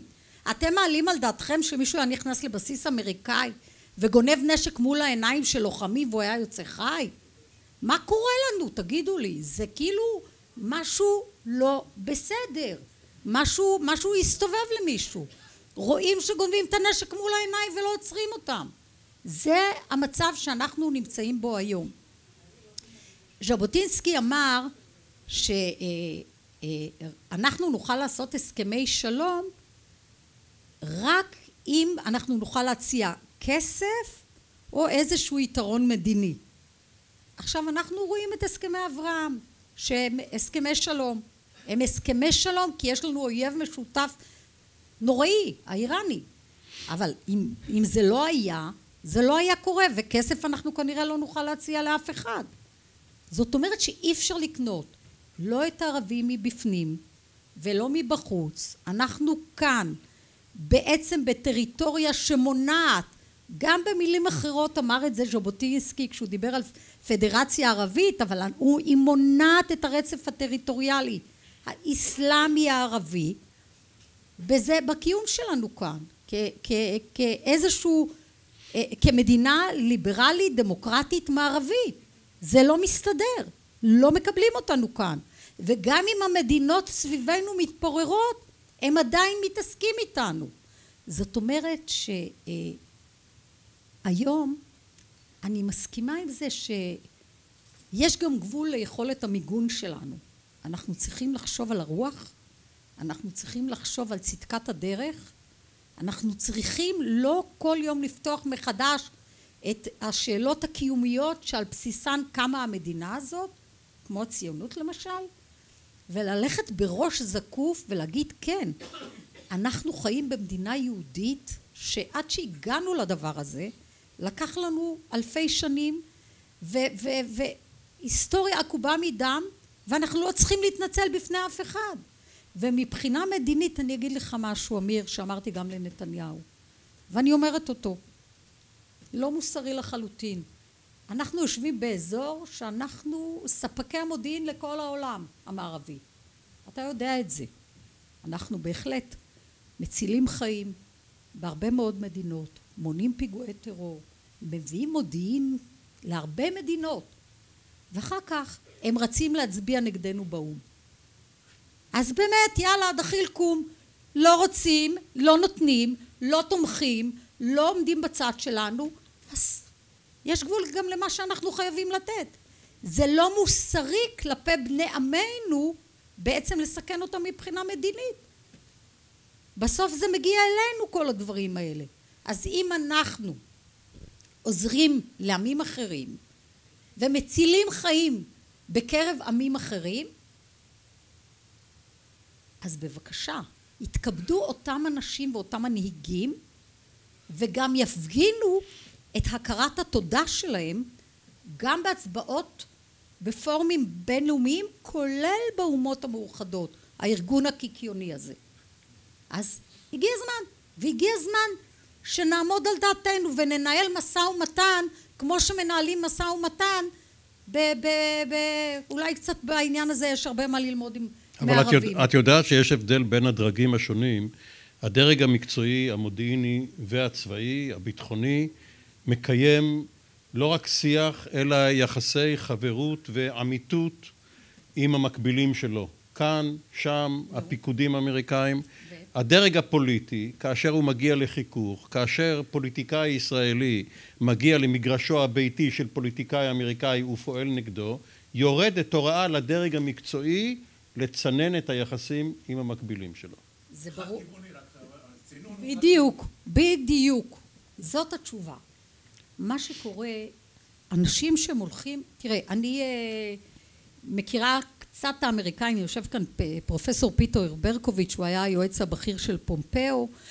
אני מכירה קצת את האמריקאים. בואו נגיד שלאורך כל השנים שאני גם הייתי באקדמיה וגם חקרתי, את הספרים שלי השיקו בספרייה של הקונגרס. אני מכירה את האמריקאים, הייתי בהרבה מאוד פורומים של, ונתתי הרצאות ל-FBI, לארגוני ביטחון, למשטרות, וגם לא פעם הרציתי בקונגרס. צריך לדעת גם עם מי לדבר. יש לנו דיבור עם האמריקאים והם הידידים הכי טובים שלנו, אין מה לדבר. אבל באמת, יש לנו אינטרסים משותפים. זה לא איזה ג'סטה רק למדינת ישראל. בואו לא נשכח, אנחנו גם נותנים במערכת היחסים הזאת. ואם נלך באמת בגאווה, ואנחנו ישבנו בוועדת חוץ וביטחון באמת ב, ב, ב, מול חברי קונגרס בתחום הסייבר, בתחומים שונים, בתחום הגירה, כל מיני פורומים, ואם אנחנו באים עם הגישה הזאת אנחנו מקבלים יותר. אני יכולה להגיד לך שיש את הפורום לשיתוף פעולה ביטחוני עם אירופה. ירדנה יכולה לספר על זה, זה משהו שאני הייתי יושבת ראש הפורום הזה והם החליטו להקים, התחילו פיגועים בכל מיני מקומות באירופה הם הקימו ועדה שתעסוק בטרור, הם שאלו אם אני מוכנה להיות יועצת לוועדה כי לישראל אין מעמד רק של משקיפים. אמרתי יועצת לוועדה? מה אני... אני חברת כנסת, אני מוכנה לבוא כחברת כנסת, לשבת בוועדה עם דגל ישראל מאחוריי ואני מסכימה לייעץ לכולם, כולל חקיקה שאתם יכולים להעתיק בנושא מאבק בטרור. לא יועצת לשום דבר, חכו שאני אסיים בכנסת, אני אייעץ לכם בשמחה רבה ובעלות גבוהה. זה לא קרה. הם הכניסו אותנו לוועדה כי הם רצו לשמוע, כי הם רצו את התובנות שיש לנו, כי הם רצו את החקיקה שיש לנו, ולכן הייתה הוועדה הזאת. היא הוקמה איתנו במעמד שווה. זאת אומרת שכשכדאי וכשיש אינטרסים, האינטרסים האלה מדברים. אנחנו רק לא צריכים להתבייש להגיד אותם בצורה הכי גלויה, לשים על השולחן. לא פוליטיקלי קורקט, לא הרכנת ראש, אנחנו אנשים שבאים בגאווה עם הזהות שלנו כיהודים, כישראלים, והקמנו מדינה לתפארת ויש לנו מה למכור. ענת, אני מקווה שהערב הזה זה לא בעלות הגבוהה שהאירופאים... לא חמוד, זה אני עושה בהתנדבות. כמובן. עכשיו, גם לשעון יש קיר ברזל, יש לנו פחות מרבע שעה. גרשון, ענת הזכירה את המלחמה באוקראינה, שהיא כבר מהפחות או יותר השבוע השלישי רביעי של מלחמת התשה. איך המושג הזה של קיר הברזל מסתדר עם הרצון הישראלי למלחמות הכרעה, להרתעה כדי שהסבבים אם בכלל יהיו, יהיו מרוחקים באינטרוולים גדולים, עם העובדה שישראל נקלעה כמה וכמה פעמים ואפשר לומר גם עכשיו מול הפלסטינים להתשה מתמשכת. בהחלט הדבר המדאיג ביותר במלחמה באוקראינה זה שהיא נמשכת ונמשכת ושבאמת לא אכפת ואפילו הייתי אומר שהדיון שעשינו יחד במקום אחר על המסמך אסטרטגיית הביטחון הלאומי של הבית הלבן מלמד שמבחינת הבית הלבן כנראה כפי שאני לומד מהמסמך יש עניין שהמלחמה תימשך, האינטרסים של הראשונים במעלה של האמריקאים בסין ואירופה עם האוקראינים ימשיכו והם מצפים להישגים מבחינתם עד אולי קריסת שלטון פוטין. זה שהאמריקאים והאירופים מוכנים שמלחמה כל כך נוראה תימשך ועל דלת ביתם של האירופים זה אומר שמי יודע אם מחר כשתהיה כאן מלחמה למישהו יהיה אכפת כדי לנסות להביא אותה לסיום. ואז השאלה הגדולה שבן גוריון הבין אותה בסיום מלחמת העצמאות שאין ביכולתנו להשיג הכרעה מהסוג של 1945 בברלין של הכחדת האיום והשלטון שמאיים ויצירת מצב חדש, את זה לא יהיה ביכולתנו לעשות. וכניעה ללא תנאי. כן, לא בקהיר ולא במקומות אחרים וגם לא בביירות עם נסראללה גם אם נגיע לביירות, נסראללה או ממשיכיו יש להם יכולת להמשיך גם מעבר לביירות, הוא הבין את זה ולכן הוא קבע תפיסה מאוד ברורה שלא נאריך עליה עכשיו אבל היא מאותגרת מאוד בשנים האחרונות מכיוון שתפיסות המלחמה החדשות של הערבים יצרו מציאות שמקשה עלינו לממש את הכרעת המחץ שאותה מימשנו בששת הימים. על הגבול מימשנו אותה ב-73. זאת אומרת שבהחלט צריך לומר אנחנו נמצאים בסוג של מצוקה, הרמטכ"ל ער למצוקה הזאת, התפיסה האסטרטגית שלנו נמצאת באתגור שלא היה כדוגמתו, לכן כל אלה שאומרים עזבו, האיומים הגדולים ירדו, יש לנו כמה איומים קטנים עם אה, ארגוני טרור ועוד כמה צרות קטנות אה, של אה, משהו שהוא בין הפלילי ללאומני בתוך מדינת ישראל, ממש להפך. הם יצרו מציאות של רעיון מלחמה שבבסיסו יש חסינות לתפיסת הביטחון של מדינת ישראל. כאן חייבים לקחת את רעיון קיר הברזל ולהעביר אותו מטמורפוזה ואני מאמין שג'בוטינסקי דווקא בגלל שהוא השאיר את זה ארטילאי ומופשט ובהחלט ראוי להערכה רבה מה שהופך את המאמר כמו שאמרה ענת בהתחלה לכזה שהוא רלוונטי היום וימשיך להיות רלוונטי זה עצם זה שהוא לא פירט אותו לתוכנית קונקרטית של טוב אז גדר כאן וכוח כאן ועוד שני גדודים והאמריקאים או הבריטים כאן אלא הוא דיבר ברעיון יסוד שמה שהוא בעצם עושה אם אנחנו מדברים למשל על הטרור ויש כאלה שאומרים שהטרור הוא בגלל הייאוש וצריך לטפל בהבאת הייאוש לסיום הפוך בדיוק והוא הבין את זה הטרור הוא בגלל התקווה צריך למנוע מהם את התקווה שהם יכולים להיפטר מאיתנו. גם פה בסיפור הזה אנחנו צריכים ליצור רעיון מלחמה חדש ששומט מידי היריבים שלנו את התקווה שיש להם דרך להכריע אותנו ועולם ומלואו בתוך זה. ובין היתר אני אגיד עוד משהו שנסראללה ערני מאוד להלכי הרוח כאן. גם יחיא סנואר וגם האחרים. האיראנים בוודאי. הוא ש... עכשיו בזום. ברור אה, לא להאמין פעם אפילו דיברתי ב-i24 על נסראללה ופירס שראיין אותי קיבל ציוץ בטוויטר תגיד לבחור שהוא מדבר נכון. מנסראללה. עכשיו בטח זה לא נסראללה מישהו שעושה לו משחקים שם אבל בשורה התחתונה אנחנו צריכים להבין שהם קוראים אותנו וכשצעירים רבים מדברים בימינו על אולי המקום שלי לא כאן אני אומר להם תקשיבו אני כאן בכל מחיר רק לפני אני לפני שבועיים היה איזשהו כינוס יותר משבועיים בבינתחומי והשתתפתי שם לפניי דיבר עמוס גלעד ואחרי זה הוא יושב עם בחור והוא אומר לי תשמע הבחור הזה אומר שיש לו פה קשיים בארץ. מה היית אומר לו? אמרתי לו אני נשאר בארץ גם אם אני צריך להתאסלם. אז הבחור אומר אבל אני כבר מוסלמי מברטע עכשיו בבסיס עצם זה שיהודים מוכנים ככה לדבר על אפשרות ההגירה זה התקווה הגדולה של האויבים שלנו. ואת זה צריך לחסום באופן לא של חסימה בכפייה חס ושלום כפייה לא תעזור אלא באופן שמבין שזה קיר הברזל העיקרי. שתי דקות אחרונות לכל אחד מכם. אתם יכולים להתעלם מהשאלה ולומר מה שאתם רוצים או להתייחס. הרעיון של קיר הברזל כל כך מוצלח שגם הערבים אימצו אותו ולכן יש פה קיר ברזל מול קיר אחד או כמה קירות איך מצליחים לשרוד ולשגשג כשגם הצד השני מבין מה שאנחנו הבנו ואימצנו. ענת. הם הבינו את קיר הברזל בנושא של דמוגרפיה. הם הבינו את קיר הברזל... דברי, דברי, זה עובד. כן, זה עובד? זה מיקרופון הברזל, הוא יעבוד.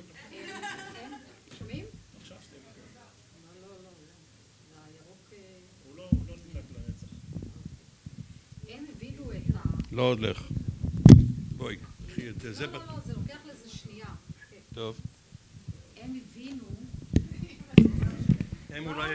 הם הבינו, הם הבינו, אבל לא... הם הבינו, הם הבינו. אבל לא שמעו. רגע, חכה. בוא ננסה את השני, אני לא אקח לך תכף מגרשים אותנו. שומעים? הנה עכשיו.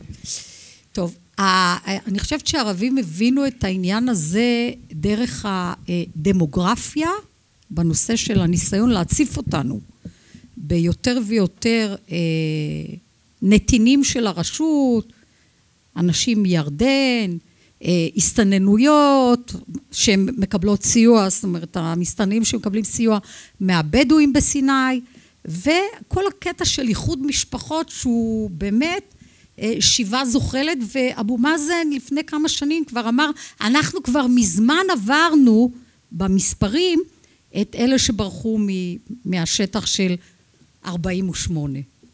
זה דבר אחד, ואני חושבת שהם גם הבינו איך לעשות abuse לדמוקרטיה שלנו. דמוקרטיה שלא מסוגלת להגן על עצמה. ואני אגיד את זה, אמר את זה אהרון ברק מאוד יפה, הוא אמר לי, את יודעת, יש חוקר שאמר את זה, כי היו לי שיחות איתו, כחברת כנסת ניסיתי ללמוד כמה שיותר כדי להבין את כל המערכות ולראות איך אני ניגשת לחקיקה באופן רציני, ועשיתי את זה בצורה מאוד אינטנסיבית. אמר לי אהרון ברק, זכות הרוב להגן על עצמו מפני המיעוט. אנחנו נמצאים היום בסיטואציה שאם בתי המשפט שלנו וכל המערכת אכיפת החוק לא תבין שאין חוק ליהודים ואין חוק לערבים, אם אנחנו נירה בחתונה, יהרגו, יעצרו את כולנו ויפוצצו את החתונה. קלה כחמורה, צריך כאן חוק וסדר. קלה בכף או בקוף? מה? בחתונה. לא, לא, לא יכולתי להתאפק, סליחה. ו, אה, אה, ובאמת, אה, קלה כחמורה, ואני אומרת, חוק וסדר, כל הנושא של הפשיעה במגזר עובר הסבה, ראינו מה קרה בכפר קאסם. זה יכולה להיות פשיעה של עבריין קטן, שאחר כך זה הופך להיות אה, טרוריסט גדול, הסבה ללאומנות. כי זה תמיד, תמיד מהול גם תודה, בזה. תודה ענת. תכף תוכלי בעצמך לעבור איחוד משפחות. אגב, אני לא בטוח שמה שאמרת לגבי האביוז של הדמוקרטיה נכון לגבי היכולת של פלסטינים שהם תושבים של ישראל בירושלים, הם הרי יכולים לפחות לבחור את ראש העיר שם, והם מסיבותיהם, תקראי לזה גאווה לאומית, אה, לפחות... אני חושבת שזה יגיע. זה יגיע? אני חושבת שזה גם יגיע, וזאת אחת... לא, יכול להיות ש... שבירושלים יהיה לך ראש... אבל יכול להיות שהארגונים יחליטו שטוב להם לבצע חתרנות כזו. טוב, ראובן, זה בהזדמנות אחרת. אה, גבי סיבוני. טוב, אני, אני אהיה אה, קצר בעניין הזה, כי מה עושים. אני, אני אביא משפט שהיינו אומרים בגולני, מאוד, אה, אנחנו, וזה סט, סט הלך הרוח שאנחנו צריכים ואנחנו כל כך נדרשים אליו. גם עם מקלות ואבנים אנחנו ננצח. ככה אנחנו אמרנו, ככה, ככה אנחנו התחנכנו. אין, ובגלל זה אני מסתכל לפעמים על, ה, על ההצטיידות, ואני מסתכל על זה בגיחוך מה. גם עם מקלות, והסיפור הוא בסוף בתוך המוח שלנו, ושם אנחנו אה, אה, מתערערים. טוב שעצרת כל... שם, כי רפול נהג לומר, אם אתה רוצה לדעת מה האויב חושב, פתח לו את הראש. יש מצב, יש מצב. אצלנו היו אומרים, אה, אצלנו, כדי לתת לך זה, אצלנו אומרים, אם אתה רוצה לתקוע את המפקד שלך, תעשה בדיוק מה שהוא אמר לך. גרשון הכהן, לסיום. מה עוד אומרים בגולני? אין שכל, אין דאגות. מה, לא? גרשון התחיל בצנחנים ואז עבר לשריון. אבל בשורה התחתונה... עזבו, שורה... שחור, נו, עזבו. שורה תחתונה, במקום שאני מנסה להסביר אה, איך אני תופס את העניין, אה, זה רצו ושוב, זה ביטוי אה, שיש לו מקורות עוד ביחזקאל, זה אומר מטולטלת. והחיים כמו שהם נעים בין יל, ילד שנולד ומוות של מישהו ויש קמילה ויש סתיו של קמילה ואחרי זה יש אביב, גם למדינה יש מערכת מחזורית ומי שחושב שמדינה הוקמה ועכשיו הכל יציב הוא פשוט חי באשליות המאבק חוזר, אנחנו במלחמת עצמאות מתחדשת אני מקבל לגמרי את מה שאמר אמיר שהם בנו את קיר הברזל שלהם והיטיבו למצות את הסדקים בקיר הברזל שלנו ואנחנו צריכים לחזור לקיום בתודעת מאבק. ענת ברקו, גבי סיבוני וגרשון הכהן, תודה רבה. אלעד, להמשך הערב.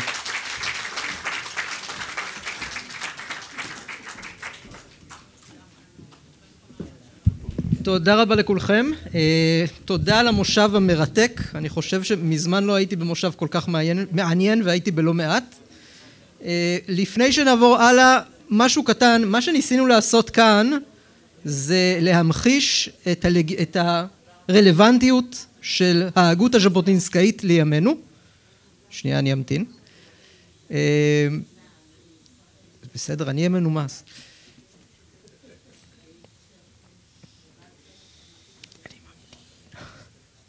טוב, אני ממשיך.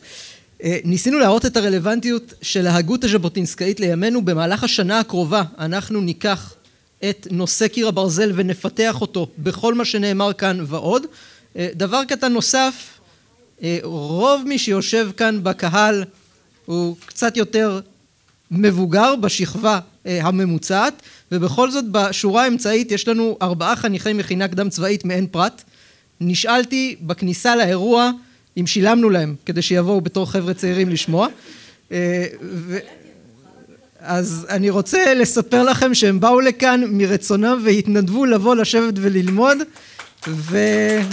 ותודה להם שהם כאן, זה ייאמר לזכותם ופחות לחובתנו. אני רוצה להזמין בבקשה את אה, עורך דין סמי ישראל, חבר הוועד המנהל של מכון ז'בוטינסקי ויושב ראש מסדר ז'בוטינסקי, להדליק אה, נרות של חנוכה. ולאחר מכן אנחנו נצא להפסקה קלה ונמשיך במושב השני. בבקשה.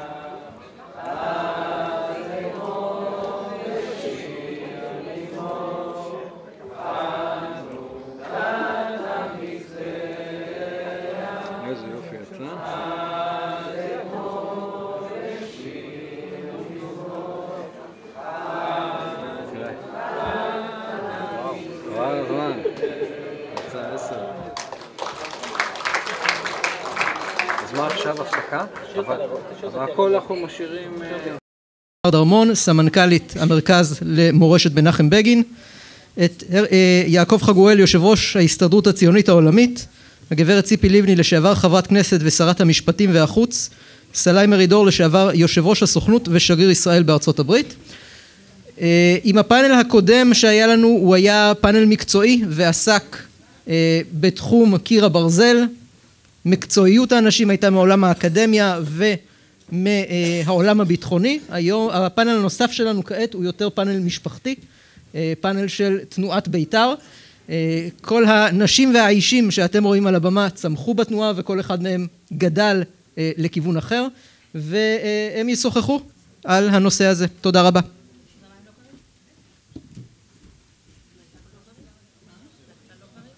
שמח, אני תמר, סמנכ"לית מרכז בגין. נמצאים איתי על הבמה שלושה בית"רים.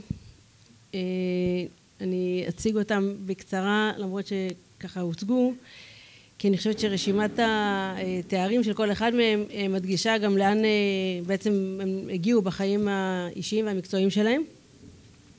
אז ladies first וכבוד שרת החוץ לשעבר גברת ציפי לבני, שרת המשפטים, שרת הקליטה, ממלאת מקום ראש הממשלה, יושבת, יושבת ראש האופוזיציה, אצלנו במרכז בגין יש לתפקיד הזה מקום של כבוד.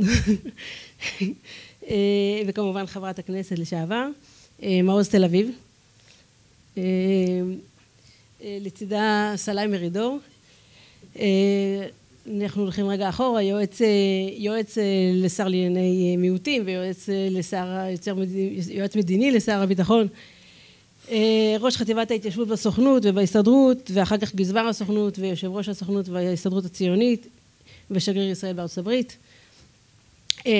וגילוי נאות דוד שלי, אז הוא מכהן בפועל גם כדוד שלי, משרה מלאה אין ספק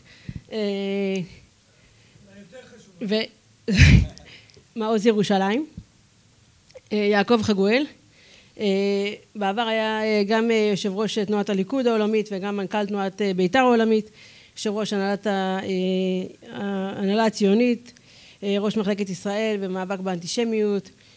והיום יושב ראש ההסתדרות הציונית, במהלך התפקיד הזה גם היה למשך שנה יושב ראש בפועל של הסוכנות, מפקד המחוז שלי, מפקד מחוז דרום ומעוז ערד ואני גדלתי במעוז מעלה אדומים. אז לכבוד, לכבוד הוא לי, ערב טוב, תל חי, אנחנו נעשה איזושהי שיחה ככה יותר קלילה מה שנקרא אבל ננסה להגיע איתה גם לכמה תובנות לגבי המקום הזה של תורת ז'בוטינסקי ותנועת בית"ר, אני מקווה שתהנו מהשיח. ואולי השאלה הראשונה אתם יושבים ככה וגם כבר לפי מדריך חניך מדריך חניך אולי השאלה הראשונה היא מה, מה, מה הביא אתכם לתנועה?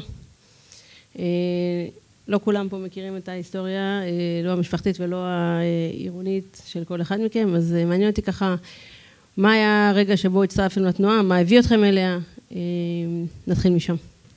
סלאי? ערב טוב, שומעים? ערב טוב לכולם, גם שמחה להיות פה בקהל, באווירה משפחתית.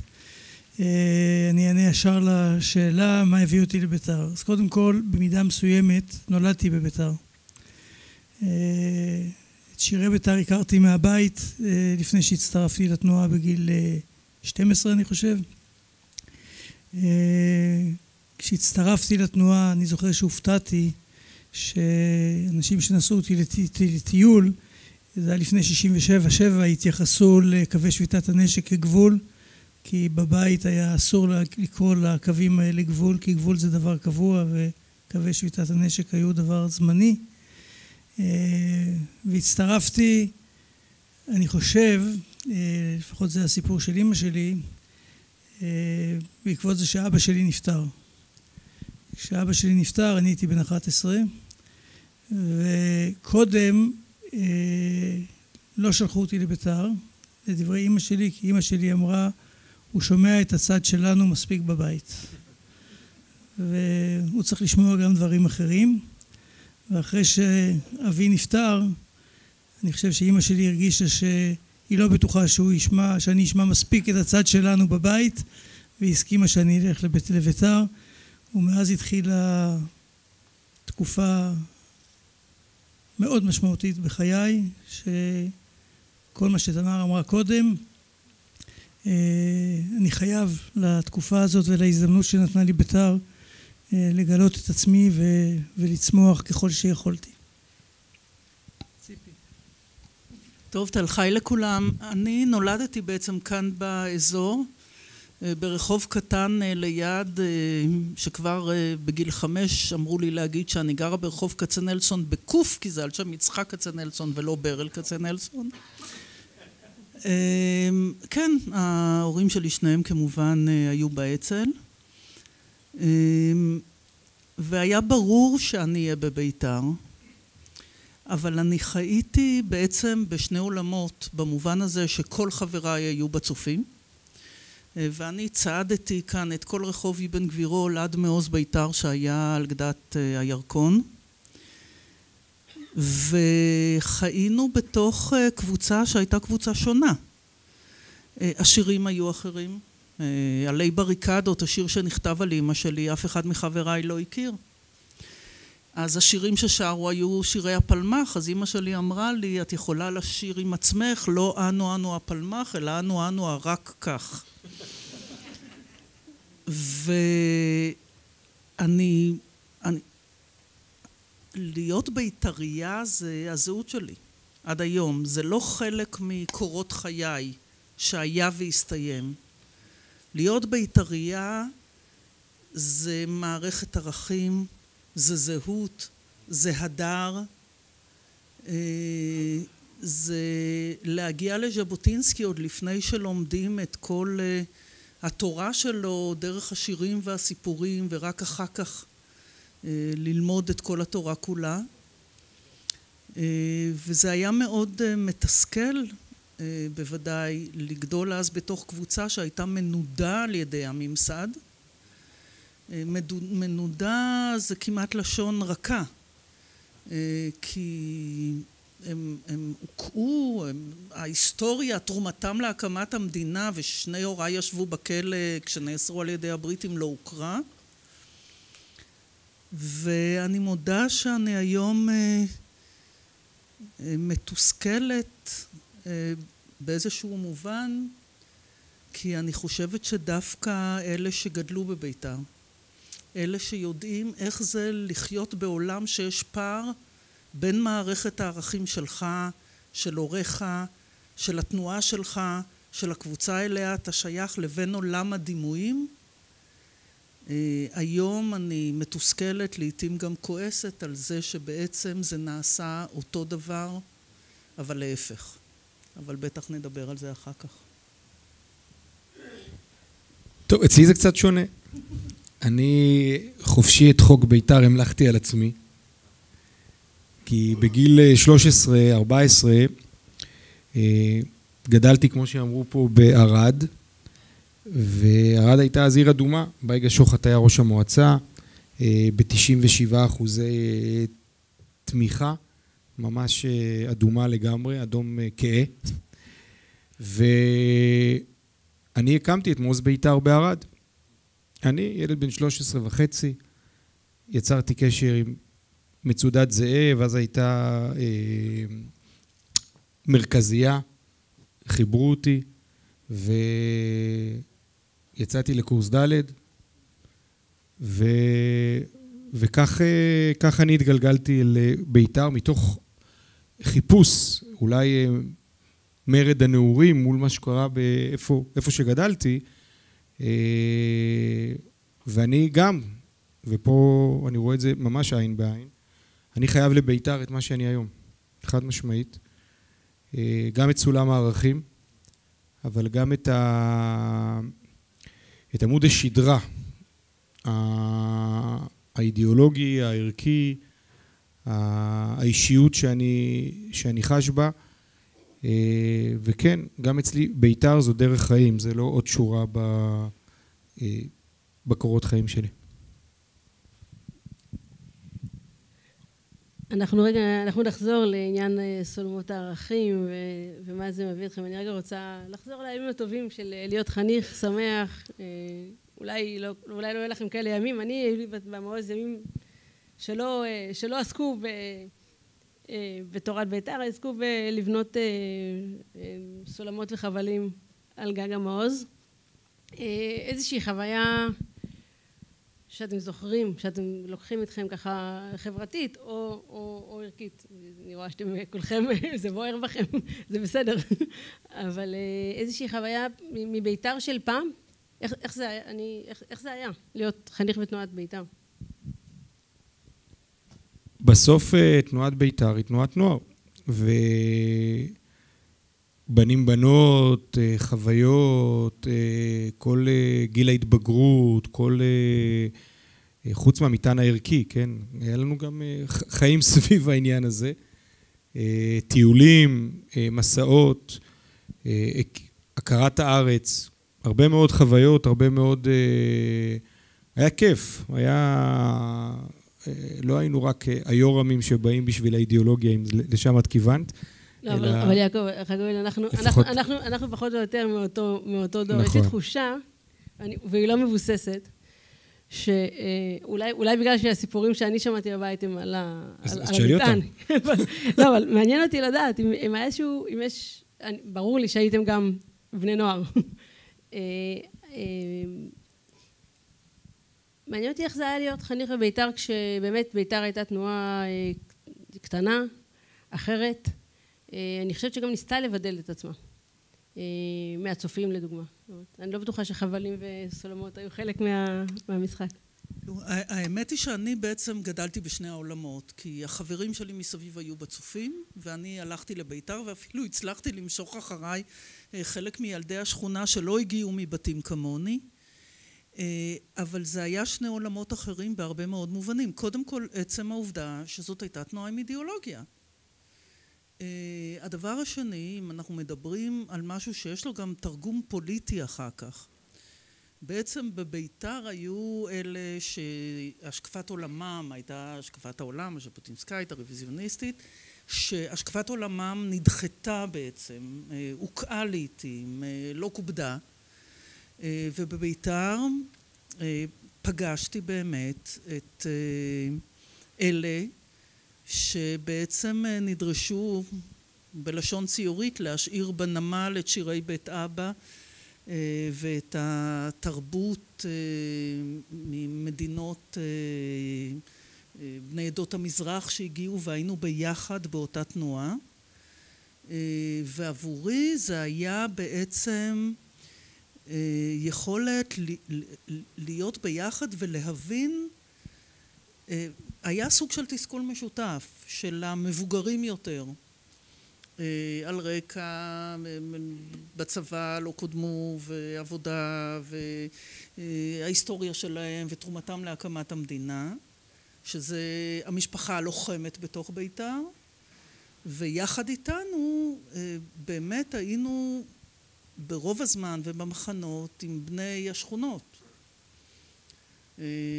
ועבורי זה היה אירוע שגם מאוד תרם לי אחר כך בלהיות עם חלקים שונים בחברה הישראלית בכל, בפרקי זמן מקבילים, מקבילים בחיים. אבל אני קצת אנחנו מדברים כל הזמן על העבר וכל הזמן בוער בי משהו להגיד שקשור לעכשיו כי אני, אני חושבת שהיום לבית"רים יש תפקיד. והיום התפקיד של בית"רים הוא, הוא, הוא בעצם להרים את דגל הערכים שעליהם גדלנו. וכשאנחנו מדברים על ז'בוטינסקי אז חלק מהתסכול שלנו גם כילדים היה שלא הכירו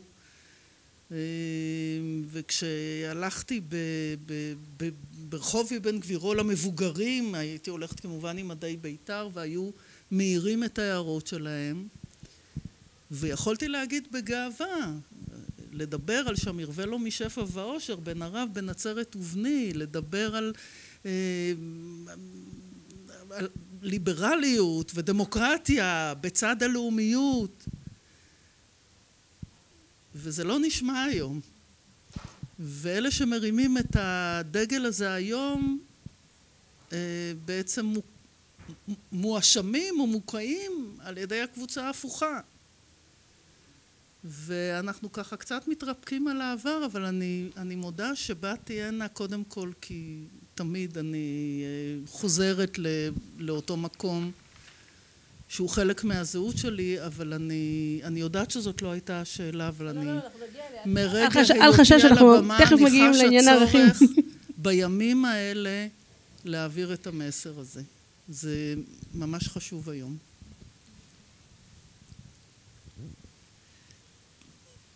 טוב, קודם כל אני אאכזב אותך, תמר, בזה שאין לי איזשהו סיפור על חבל ו...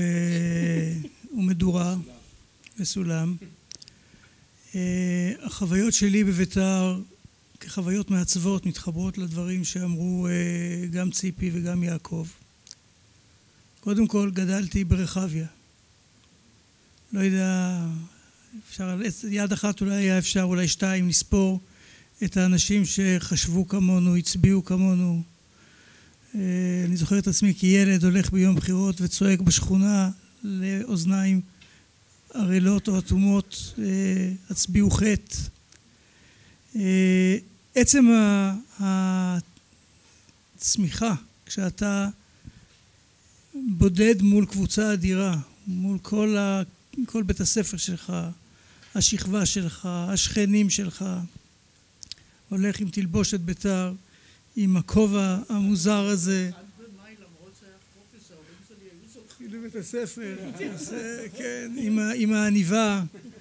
זה, זאת חוויה, חוויה אה, מעצבת. אה, שנית, כמו שאמר חגואל, הוא הקים מעוז בגיל 13.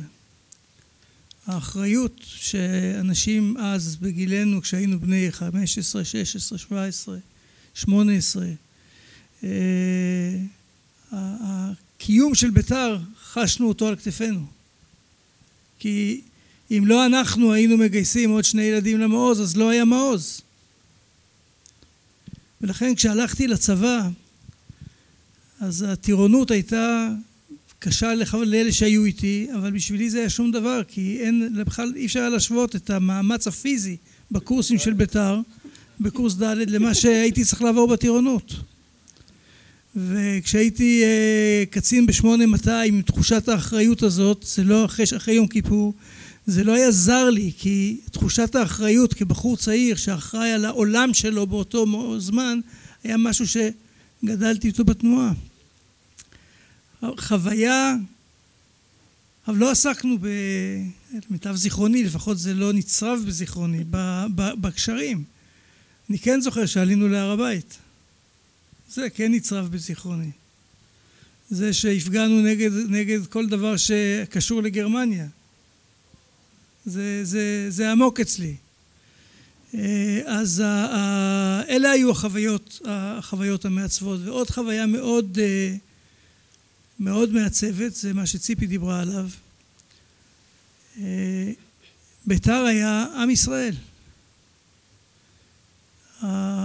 חברים שלי ברחביה היו מרקע מאוד מוגבל, מוגדר בדרך כלל, והעולם שפגשתי בבית"ר על כל עדות ישראל, כמעט אשכנזים היו מעט, אבל באמת מגוון אדיר של עדות, ואנשים מבתים מסורתיים, ואנשים מבתים אה, דתיים, ציוניים. זה, זה עשה אותי עשיר, כיהודי, כישראלי, באופן שספק אם הייתי יכול ללא החוויה הזאת של, של בית"ר. אה, עכשיו אני מתחבר לתחושות של ציפי, אבל זה כבר השאלה הבאה אני מניח. אז אני, אני רק אגיד שזה מאוד מעניין, כי אנחנו באמת אה, קצת מייצגים אה, שני דורות בבית"ר לצורך העניין. הדור שלפני 77 והדור שאחרי 77.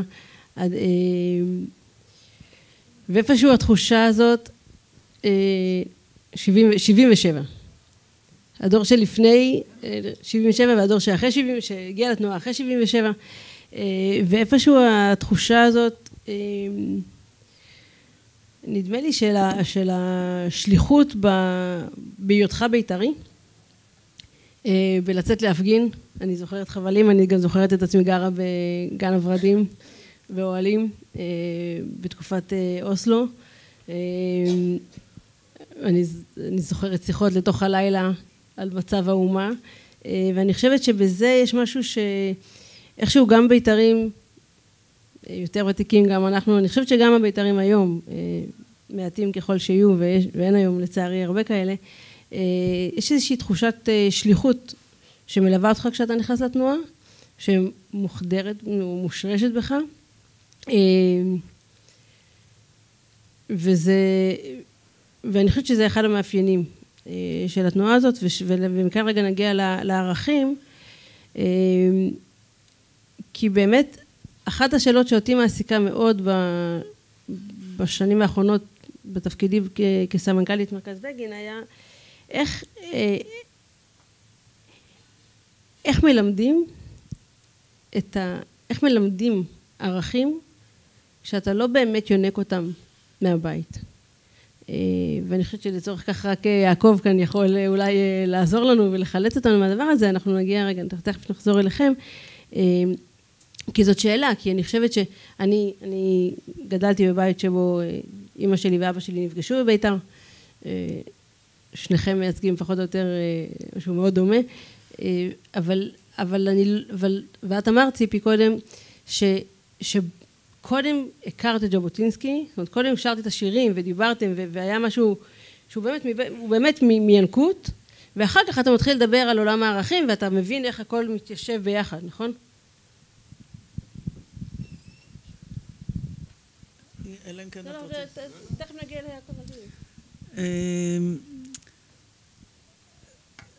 אני חושבת שערכים זה, כשאתה מדבר על בית שבו אתה גדל אז אתה לא צריך, אז כמובן שהספרייה בבית הוריי הייתה עם כל כתבי ז'בוטינסקי. אבל אתה יונק את זה מההתנהגות של הוריך, עוד לפני שאתה קורא ספר.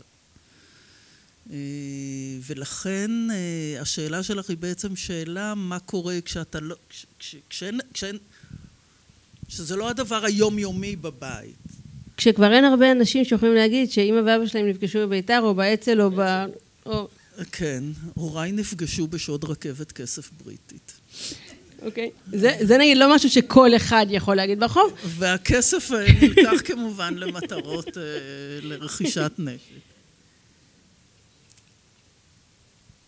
אני חושבת שיש, אני חוזרת למשהו שאמרתי בהתחלה, שזה משהו שהופך להיות זהות.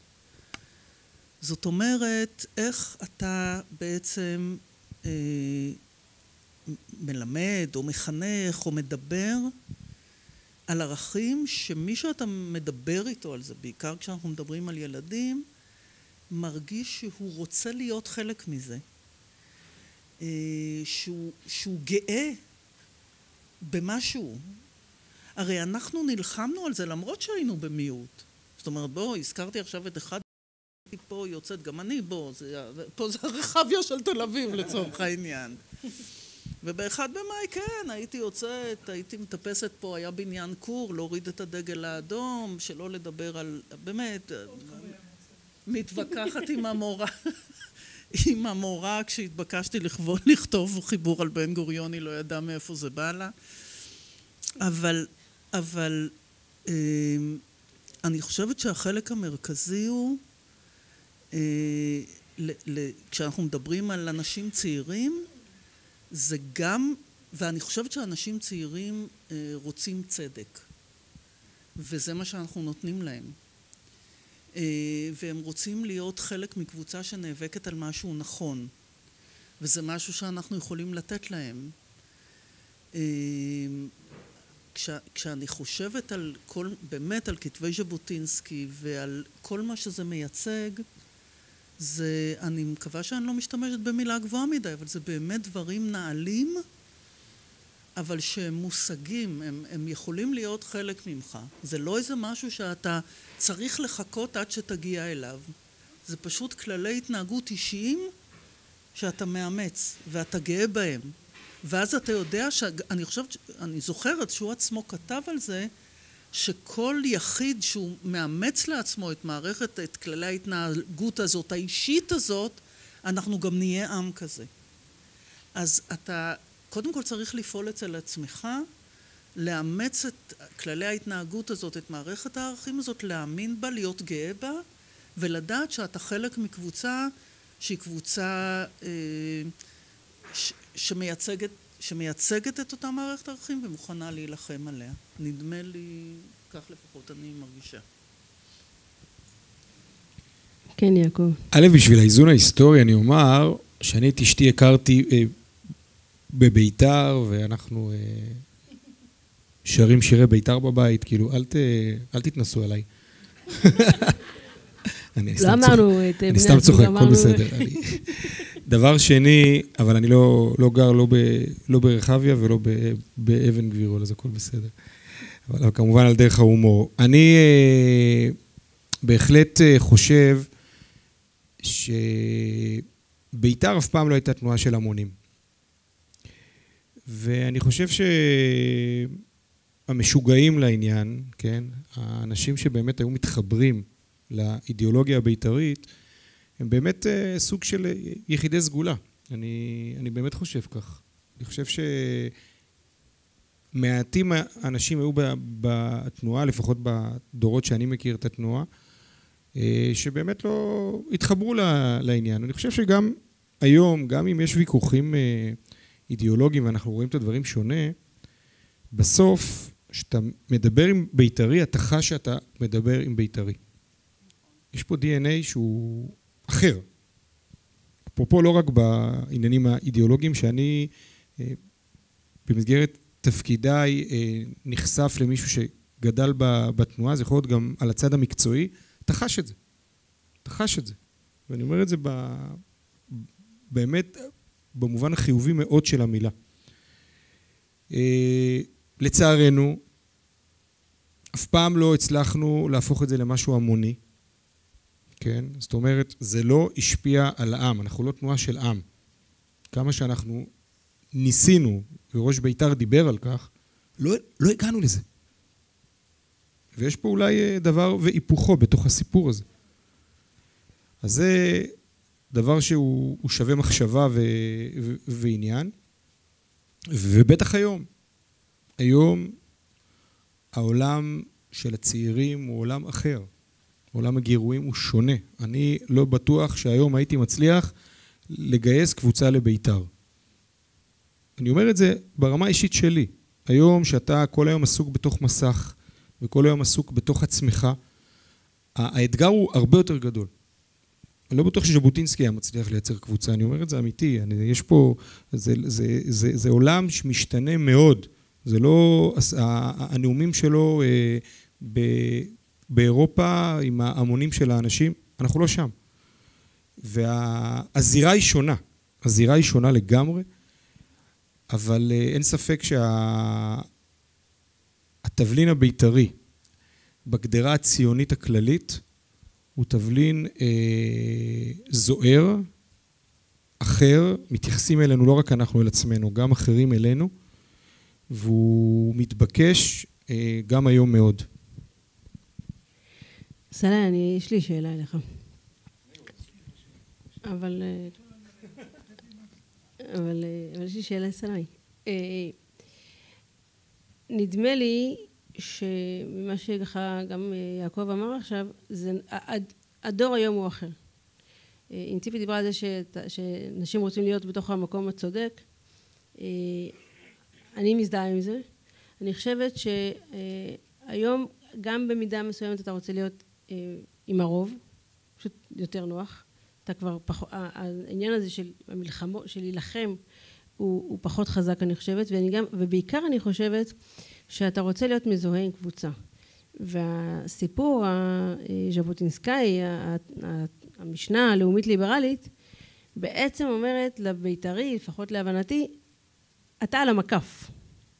אנחנו חיים במקף בין הלאומי לליברלי. אתה גם וגם. אבל לא לפעמים פה ולפעמים שם. אתה באמת כל הזמן גם וגם. אה, ולתחושתי היום הציבור ובטח אה, אה, הנוער זו דרישה קשה לחיות בגם וגם. אני, אני מזהה נכון, אני, ואז אני אשמח לדעת איך פותרים את הדילמה הקשה של, של המקף. קודם כל אני חושב שהרצון להיות חלק מרוב והרצון להיות שונה הם תכונות אנושיות. היו תמיד טובות, ואני מניח שעם כל הטכנולוגיה שאני מאמין בה מאוד ורואה את השינויים העצומים שהיא עושה, אני חושב שהיא אה, לא משנה חלק מן הדברים המאוד יסודיים בהתנהגות האנושית, אפילו בהתנהגות חברתית, ביניהם רצון של אנשים להיות חלק מרוב ורצון של אנשים אחרים או אותם אנשים בתקופות אחרות בחייהם להיות שונים ולהיות חלק ממיעוט. ו... וזאת לא הבעיה, לא הייתה הבעיה של בית"ר אה, גם כשהיא הייתה עם אה, מאות ואלפים. ואני גם לא משוכנע שהמקף אין לו תפקיד יותר חשוב מכל דבר אחר. המקף שאת מדברת עליו. גם אם הוא קטן יכול להיות שהוא מחזיק את כל המבנה ביחד אבן הראשה של כל הדבר הזה. אז או שאתה רוצה להיות אבן הראשה או שאתה רוצה להיות אחת מהאבנים של בניין שמתמוטט. ואני אה, אה, חושב שבית"ר הצליחה עם מעט אנשים אה, לעשות דברים ענקיים ואותה רוח, אותם ערכים הביאו בסופו של דבר, תרמו בסופו של דבר, אני לא רוצה להגיד שהביאו לבד, זה לא נכון, תרמו תרומה משמעותית מאוד לזה שיש לנו פה מדינה ואותה קבוצה קטנה של אנשים השפיעה על הווייתה של המדינה הזאת בצורה מאוד משמעותית במשך, יודע, משהו כמו שני עשורים. והמעט הזה, אני אתאר לכם חוויה לגמרי אנקדוטה. אה, כשציפי הייתה שרת החוץ, אה, ומאיזה בית היא באה אתם יודעים, ואם לא ידעתם לפני הערב אז אתם עכשיו יודעים. אה, אני שירתתי בוושינגטון והייתה לנו פגישה עם שרת החוץ האמריקאית. נשלחנו על ידי ראש הממשלה שהיה מבית של בית"רים ושרת החוץ שהייתה מבית של בית"רים והיינו חמישה אנשים בקבוצה מהצד הישראלי. מתוכם ארבעה היו קשורים באו ממשפחות של 251 אני חושב הגולים לאריתריאה. ופתאום אנחנו מוצאים את עצמנו בחדר אחד מול שרת החוץ האמריקאית יורם טורבוביץ' נשוי לבת של גולי אריתריאה. את יורם אני לקחתי מהשכונה למעוז. אוקיי, והיא לקחה אותו, וציפי לקחה אותו מה, מהשכונה למעוז. ומי שהיה אז אה, ראש אג"ת, אה, אלוף אה, עידו נחושתן, הבן של דבורה ויעקב נחושתן, גיבורי אצ"ל, ואהרון אברמוביץ' היה מנכ"ל משרד החוץ תחת, או יחד עם ציפי, בן של בית"רים ועבדכם הנאמן. אז המספר לא צריך להפחיד אותך ולהיות אבן הראשה ולא אחת האבנים זה כבוד גדול ויותר מכבוד זה חשיבות גדולה. אבל אני רוצה להתחבר לדברים שנאמרו קודם כי אנחנו כולנו כל כך, אני מרגיש שאני לא משתף באמת במה שאני מרגיש. אה, העניין הזה של לאומי ליברלי זה לא, לא דבר שולי. אה, בעיניי אם נהיה רק ליברליים לא נהיה, ואם נהיה רק לאומיים נהיה מפלצות. אולי גם לא נהיה. והעמידה הזאת של תפיסה של ז'בוטינסקי ואחר כך הערכים של בית"ר שעומדת על הרגל האנושית ועל הרגל הלאומית על תפיסות יסודיות שכל בני האדם שווים ושלעם ישראל יש זכות כמו לכל העמים להגדיר את עצמו בהגדרה עצמית ולחיות חיים לאומיים בריאים. שני הדברים האלה אדירים ביחד ומסוכנים בצורה קיצונית ביותר כשהם נשארים לבד. אז כשלימדנו את ה... כמדריכים בתנועה את שמאל הירדן, מה שמכונה שתי גדות לירדן, אז באותה מידה של רצינות לימדנו את זה שהירדן הוא לב הארץ, כעמוד התיכון לאפדן, או שבתווך לגשר, ו, ובאותה מידה של רצינות גם ששם ירווה לו משפע ואושר, בין הרב בנצרת ובני, כי דגלי דגל תואר ויושר יטהר שתי גדות ירדני. וכשאתה לוקח רק את אחד הבתים, אתה לא נשאר עם שיר חסר, אתה עלול להישאר בלי השיר כולו.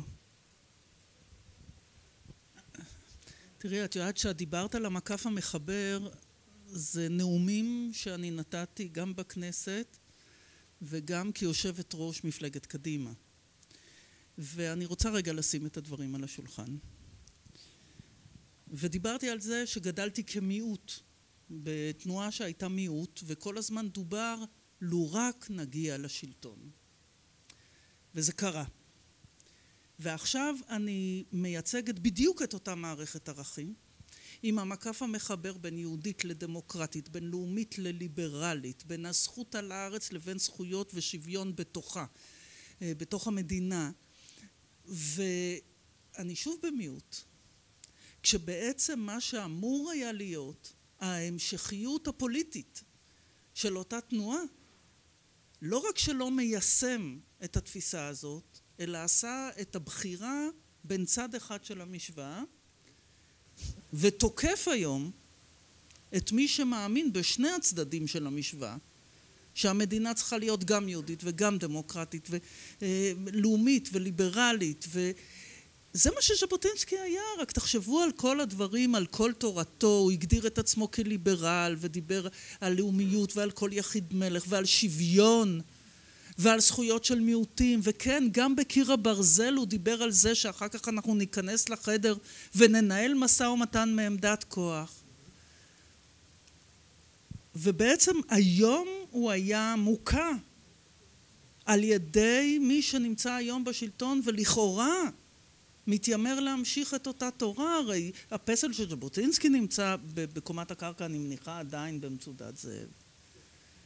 והדברים האלה צריכים להיאמר כי זה לא חייב להיות מיעוט. אני יודעת שזה קשה פוליטית להגדיר משהו שהוא יותר מורכב. יותר קל להיות קיצוני. זה מוכר יותר, אתה מקבל יותר דקות שידור, אתה יכול, שחור, לבן, לאומי, לאומני, או זה, או זה, זה, זה, זה יותר קל למכור את זה, אתה יכול לקבל על זה יותר קולות, אבל זה לא מערכת ערכים שהיא מייצגת את הציונות, לא רק בעיניי, אלא בוודאי אה, אה, על פי תורת ז'בוטינסקי. ולכן זה לא נגזר, זה, זה לא מערכת ערכים שתמיד תהיה במיעוט. זו בחירה פוליטית שאני מודה שאני כועסת עליה. וכשאני מסתכלת היום על מה קורה, אני כל הזמן, יש לי בראש את שתי המילים שז'בוטינסקי כתב ואמר שהן המילים הכי גרועות או שהכי פוגעות במוסרו של אדם ושתי המילים האלה הם כאן מותר וברגע שכולם נדמה להם שהכל מותר אז זה הדבר הכי לא מוסרי שיש ואני מסתכלת על מה שקורה ואני רוצה ליצור בדיוק את המילים האלה. ואם נעבור מז'בוטינסקי לבגין הרי כל הזמן זה מפמפם לי בראש המשפט של במדינתנו פנימה יהיה הצדק השליט העליון שליט על כל שליטיה הרי עם קום המדינה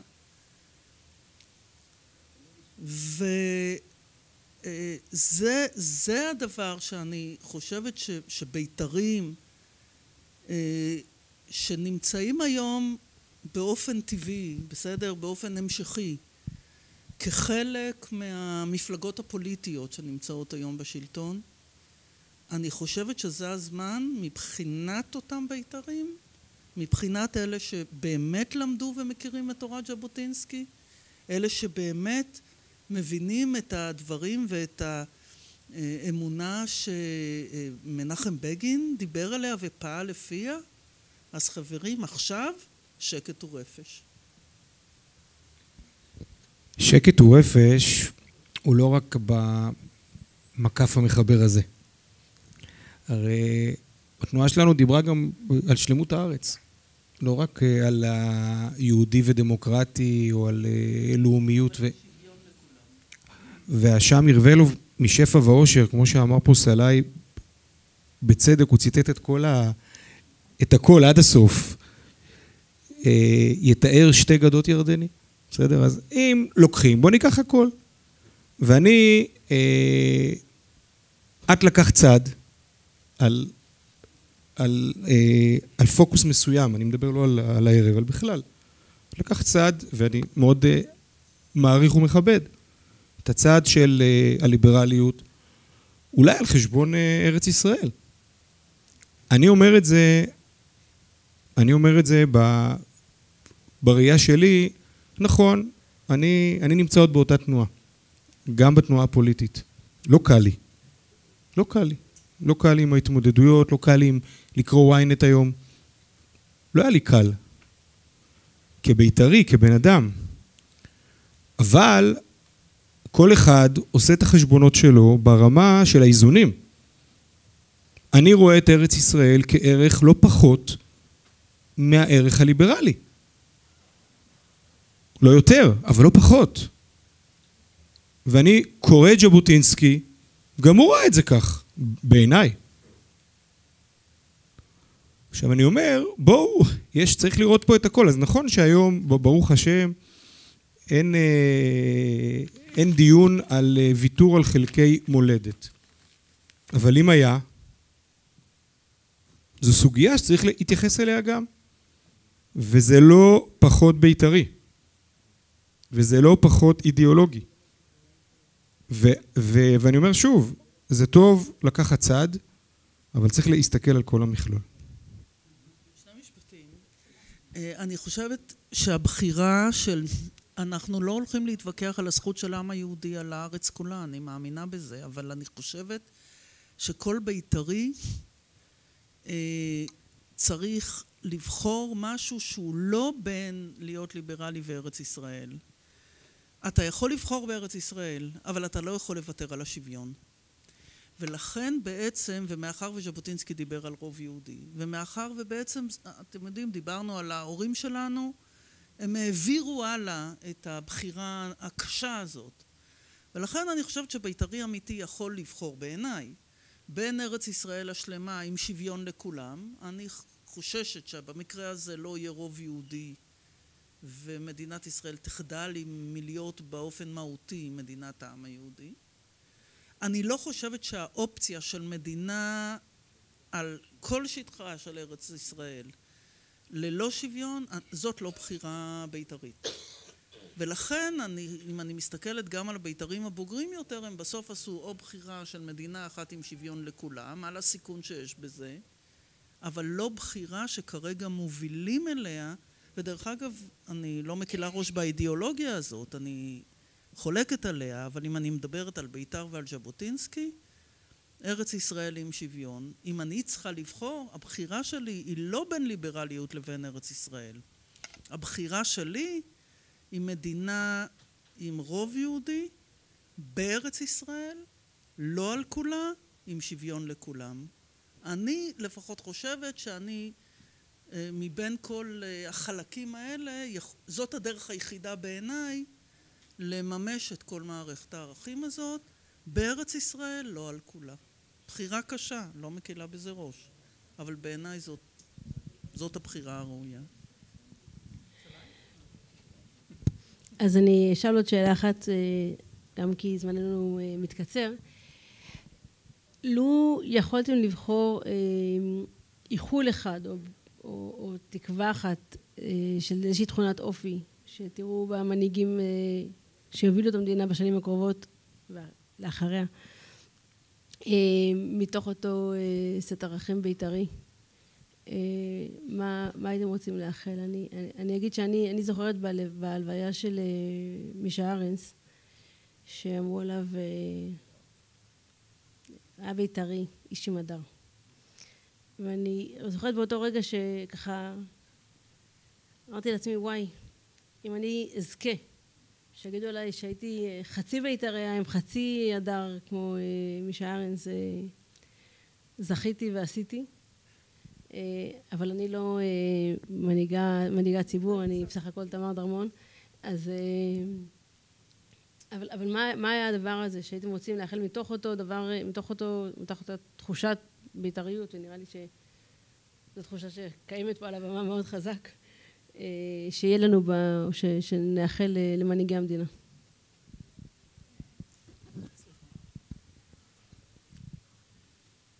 קודם כל לא יכול להישאר אדיש לזה שהזכרת את מישה ארנס, הייתה לי זכות להיות עוזר שלו שש שנים ולצד חוויית, חוויה המעצבת של בית"ר לעבוד עם מישה ארנס הייתה זכות, זכות מעצבת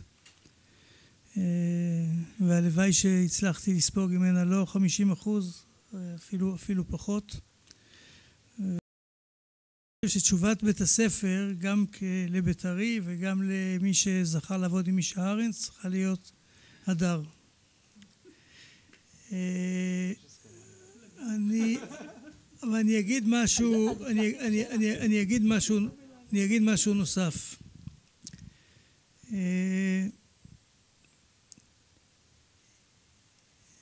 הקשבתי לפאנל הקודם ואני חושב לא זוכר מי זה היה, סיבוני שאמר שהוא אופטימי מטבעו ולכן יהיה יותר קשה אבל, אבל ננצח וכולי אני לא כזה מטבעי. ויש לי סיוט. הסיוט שלי הוא שאנחנו נתפרק. נתפרק לרסיסים או לקבוצות. והסיוט הזה בנוי על זיכרון היסטורי. ועל תקופות של שבעים, מאה שנה שהיה באמת בית ראשון אחד עד שהוא התפרק לשניים. ואנחנו עכשיו בערב האחרון של היום, הערב היום השמיני של חנוכה. אז בערך מאה שנה מאז המרד של החשמונאים, מכבים ועד שהרומאים כובשים את הארץ. ויש לי סיוח, יש לי חרדה ויש לי סיוט שאנחנו מאבדים את המכנה המשותף שלנו ואנחנו מקדשים את האינטרסים של הקבוצות ושהתרבות שבתוכה אנחנו חיים ואותה אנחנו מעצבים או מרשים לעצמנו שתתעצב היא תרבות שבה כדי להרוויח באופן רציונלי יותר קולות הופכים את הצד השני לאויב אנחנו נכנסים לעולם של משחק סכום אפס בין הקבוצות שמה שטוב לי רע לך וההפך. ולכן השאלה שלך לצד ההדר כי הדר יבוא ראשון יש לי בכל זאת אחד בית שאני מחפש מנהיג או מנהיגות שתדע לחבר בין החלקים של העם הזה ותדע לכבד את האחר ותקטין את הסיכון שבית שלישי ייגמר כמו בית ראשון ובית שני. סליחה לצד האורות של חנוכה שאני גם מצביע על החשש.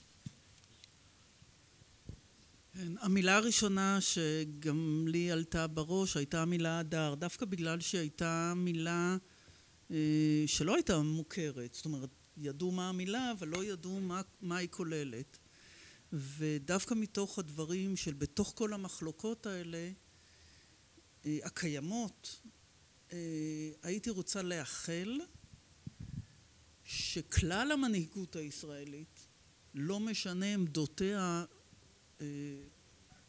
גם אם עמדותיה שונות, יתנהגו בהדר, כי אז השיח יהיה אחר, כי אז אותו כבוד יינתן לאחר, כי אז גם הפוליטיקאי לא יעסוק בלא להיות פראייר, אלא יהיה, יעסוק בכנות באתגרים שעומדים לפנינו. ולכן התמצית הזאת, המילה המיוחדת הזאת, שזר לא יבין אותה או לא הבין אותה, היא, הייתי מאחלת או מקווה שכך תתנהל, שכך יתקבלו ההחלטות, שכך תהיה ההתנהלות האישית גם בכנסת, גם בממשלה, גם בקרב החברה הישראלית כולה. אני לא אפתיע, גם אצלי המילה היא הדר. אני רוצה לקחת אתכם לסיפור קצרצר. הייתי לפני כמה שנים באורוגוואי, והציג אותי, באתי לדבר בפני כמה מאות אנשים, והציג אותי אה, האיש הבכיר בקהילה, העסקן הגדול. אמרתי לו אחרי זה, חיררדו, תגיד לי, מה עשיתי לך? למה עסקן? למה אתה קורא לי עסקן? אני באתי אה, בצורה... הוא אומר לי, עסקן זה התואר הכי חשוב שיש כאן בקהילה. זה עוסק, עוסק בצורכי ציבור, באמונה. ואני אומר לכם, ששם ירד לי האסימון. שם ירד לי האסימון שהבנתי שמה שקורה פה אצלנו במנהיגות, וכמו שאמרה פה ציפי, בהחלט אצל כולם, כל המפלגות, שאנחנו, יש פה משהו שמתדלק את עצמו. הם מזלזלים אחד בשני, אנחנו מזלזלים בהם כעם, וזה מתדלק את עצמו כל הזמן. והיום, אם הבן שלי יאמר לי, אני רוצה לעסוק בצורכי ציבור, זה הדבר האחרון שאני אמליץ לו, כמו כל אחד פה בתוך החדר הזה. כי הפכנו את זה למשהו בזוי. ואנחנו צריכים, וזה אני מתחבר מאוד לקודמיי, להחזיר את זה, בראש ובראשונה המנהיגים, אבל גם העם, להחזיר את זה למשהו, למנהיגים עם אומץ, למנהיגים עם הדר, למנהיגים שרוצים למען אחדות עם ישראל ולא למען עצמם.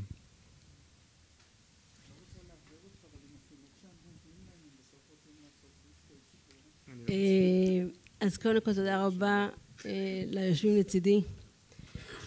אה, זכיתי, זכיתי לשבת ליד משרתי ציבור, אנשים שמבינים מה זה אומר להיות משרת ציבור ושעושים את מה שהם עושים בשביל הציבור ולא למען עצמם, אז תודה לכם על כך לאורך השנים. תודה רבה שבאתם.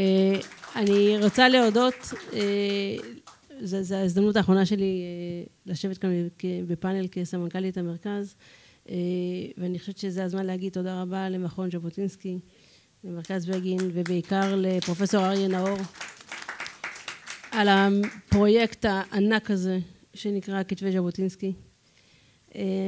הלוואי וכל מי ש...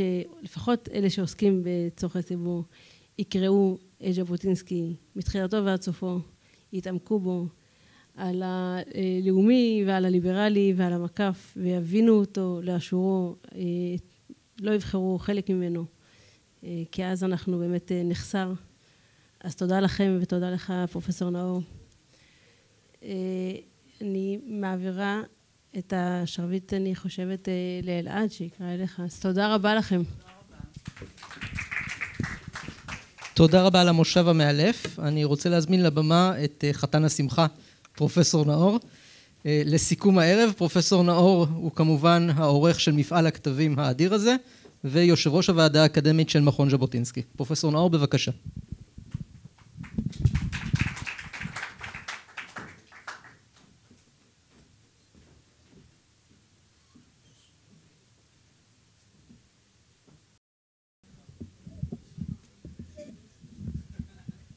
ערב טוב לכולם, וכל הכבוד לאלה שנשארו עד הסוף.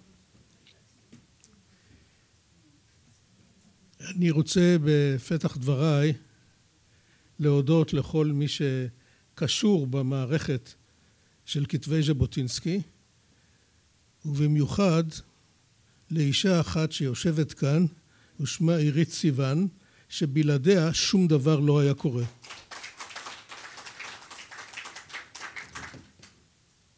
לעצם העניין,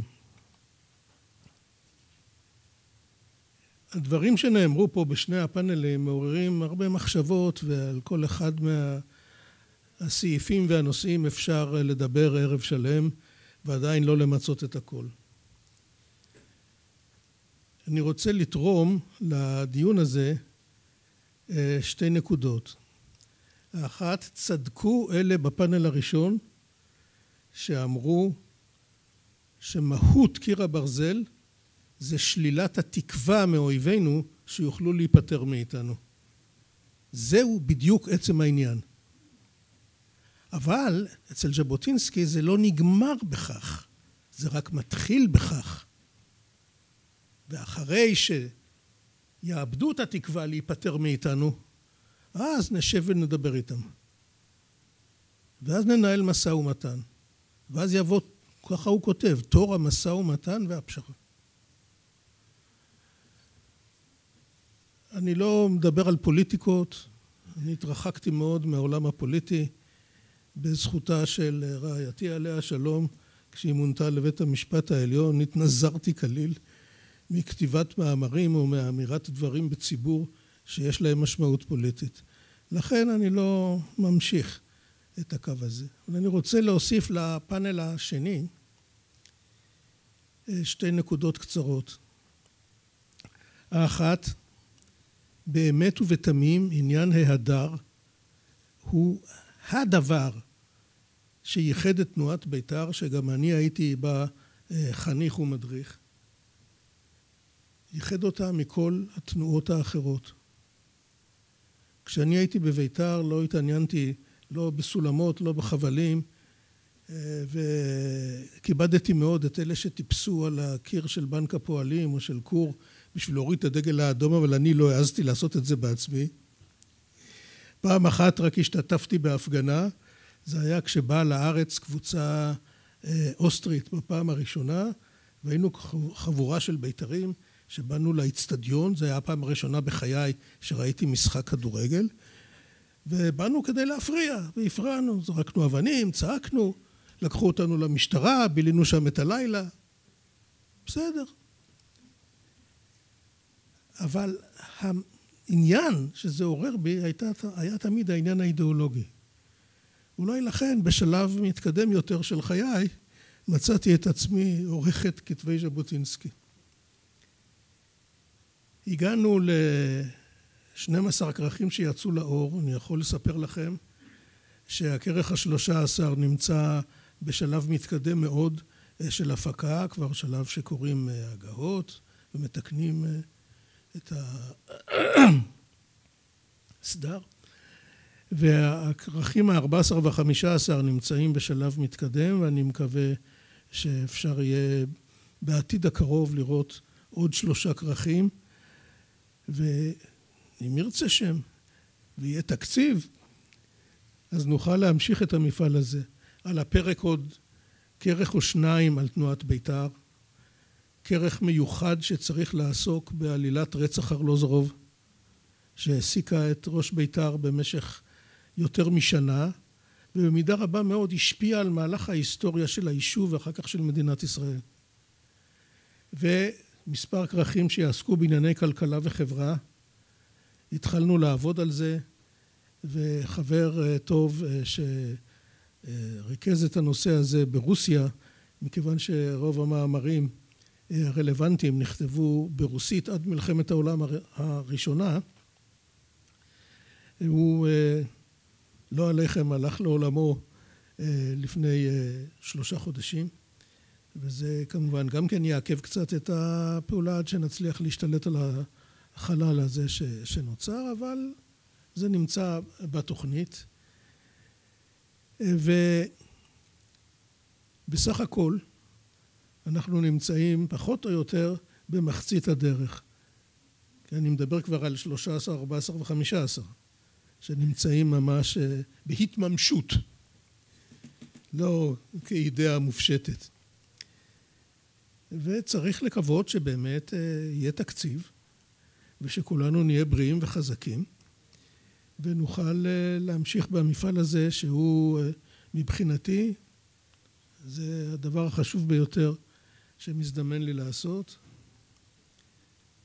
חוץ מעוד משהו קטן שגורלי הטוב זימן לי כשהייתי קצת יותר צעיר, אבל לא באנו לדבר עליי. והערה אחרונה, דובר כאן על המקף. אני רוצה להוסיף איזה מין זווית ראייה של מי שמתעניין בהיסטוריה. בשנות החמישים הייתה ועידה, הייתה ועידה פולמוסית, סוערת מאוד מאוד של מפ"ם. כשהייתה פעם מפלגה כזאת, מפלגת הפועלים המאוחדת. ועל הפרק הייתה השאלה האם את צמד המילים מרקסיזם ולניניזם צריך לכתוב עם מקף מחבר ביניהם או בלי מקף מחבר ביניהם. זה בכלל לא מצחיק. כי אם כותבים את זה עם המקף המחבר, משמע שהאינטרפרטציה הלגיטימית היחידה למרקס זה לנין. ואם אין מקף מחבר, אז יש מרקסיזם, יש לניניזם, יש נקודות שהן משיקים, יש נקודות שלא. סיפור אחר לגמרי. אז עם כל ההבדלים, גם הלאומיות הליברלית היא כזאת. אבל כשאנחנו מדברים עברית, אז אה, מה רוצה בורא השפות? בשפה העברית לא צריכים לשים מקף בין לאומיות וליברלית. אם אנחנו אומרים לאומיות ליברלית, הרי יש לנו כאן סומך ונסמך, ואנחנו מציגים שלמות אחת בלי צורך במקפים שהם לא מכבשונה של השפה העברית. זה משהו שהגיע אלינו משפות אירופיות. והלאומיות, אצל ז'בוטינסקי זאת שלמות אחת, לאומיות ליברלית, ולאומיות ליברלית שמכילה בתוכה כמובן את ארץ ישראל משני עברי הירדן. עכשיו אמרתי שזה נקודת ראות של מי שמתעניין בהיסטוריה, כי מי שמתעניין בהיסטוריה שואל את עצמו באיזו תקופה נכתבו הדברים ומה היה המצב ההיסטורי אז. אז היו 17 מיליון יהודים בעולם. עדיין לא הגענו למספר הזה. קרוב ל-80 שנה אחרי השואה. עוד לא הגענו למספר הזה. ובלי המספר הזה עלולים להגיע להכרעות קשות, מכאיבות, בין שמכריעים לכאן, בין שמכריעים לכאן. זאת הכרעה כואבת כי צריך לוותר על משהו שלא רוצים לוותר עליו. במובן זה, ההכרעות שלפני עמנו הן הכרעות עם אלמנט טרגי. כי צריך לוותר על משהו. עכשיו, אם תקראו בכרך שאני עובד עליו כעת, ארץ ישראל ד', ההופעה של ז'בוטינסקי בפני ועדת פיל. אחד הדברים המשמעותיים ביותר שהוא אומר שם, על מה אנחנו יכולים לוותר? יש מיליונים שאנחנו צריכים להציל. אינני יודע אם ארבעה, חמישה מיליון יהודים שצריך להציל אותם. אז תביאו את כל זה בחשבון כשאתם מעצבים השקפה. הלאומיות והליברליזם הם שני פנים של אותו הדבר עצמו, כך גם התפתחה הלאומיות באירופה במאות ה-18 וה-19, עד הסטייה הלאומנית שהייתה בשלהי המאה ה-19 וראשית המאה ה-20.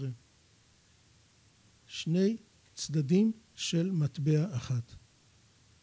ולזה נכנס גם העניין של כמובן זכותנו על ארצנו וכן הלאה וכן הלאה.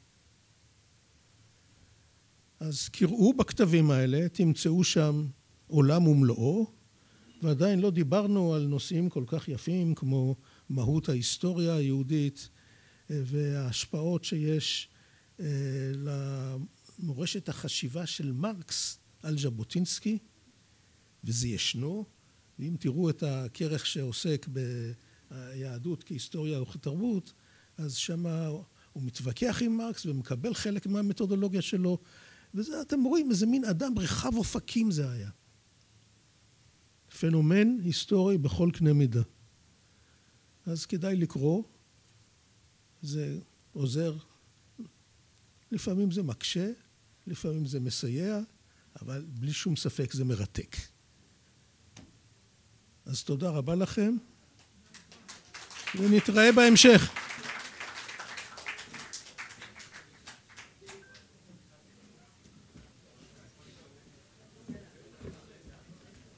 המון תודה לכולכם, תודה שאתם אה, באתם להיות כאן איתנו ביום הגשום הזה. אני רוצה רק להודות כמובן לפרופסור נאור, עירית סיוון, אמירה שטרן שליוותה את המפעל הזה במשך תקופה ארוכה, ולוועדה אה, המלווה מטעם מכון ז'בוטינסקי ומרכז בגין, וברוח הדברים נסיים בשיר בית"ר.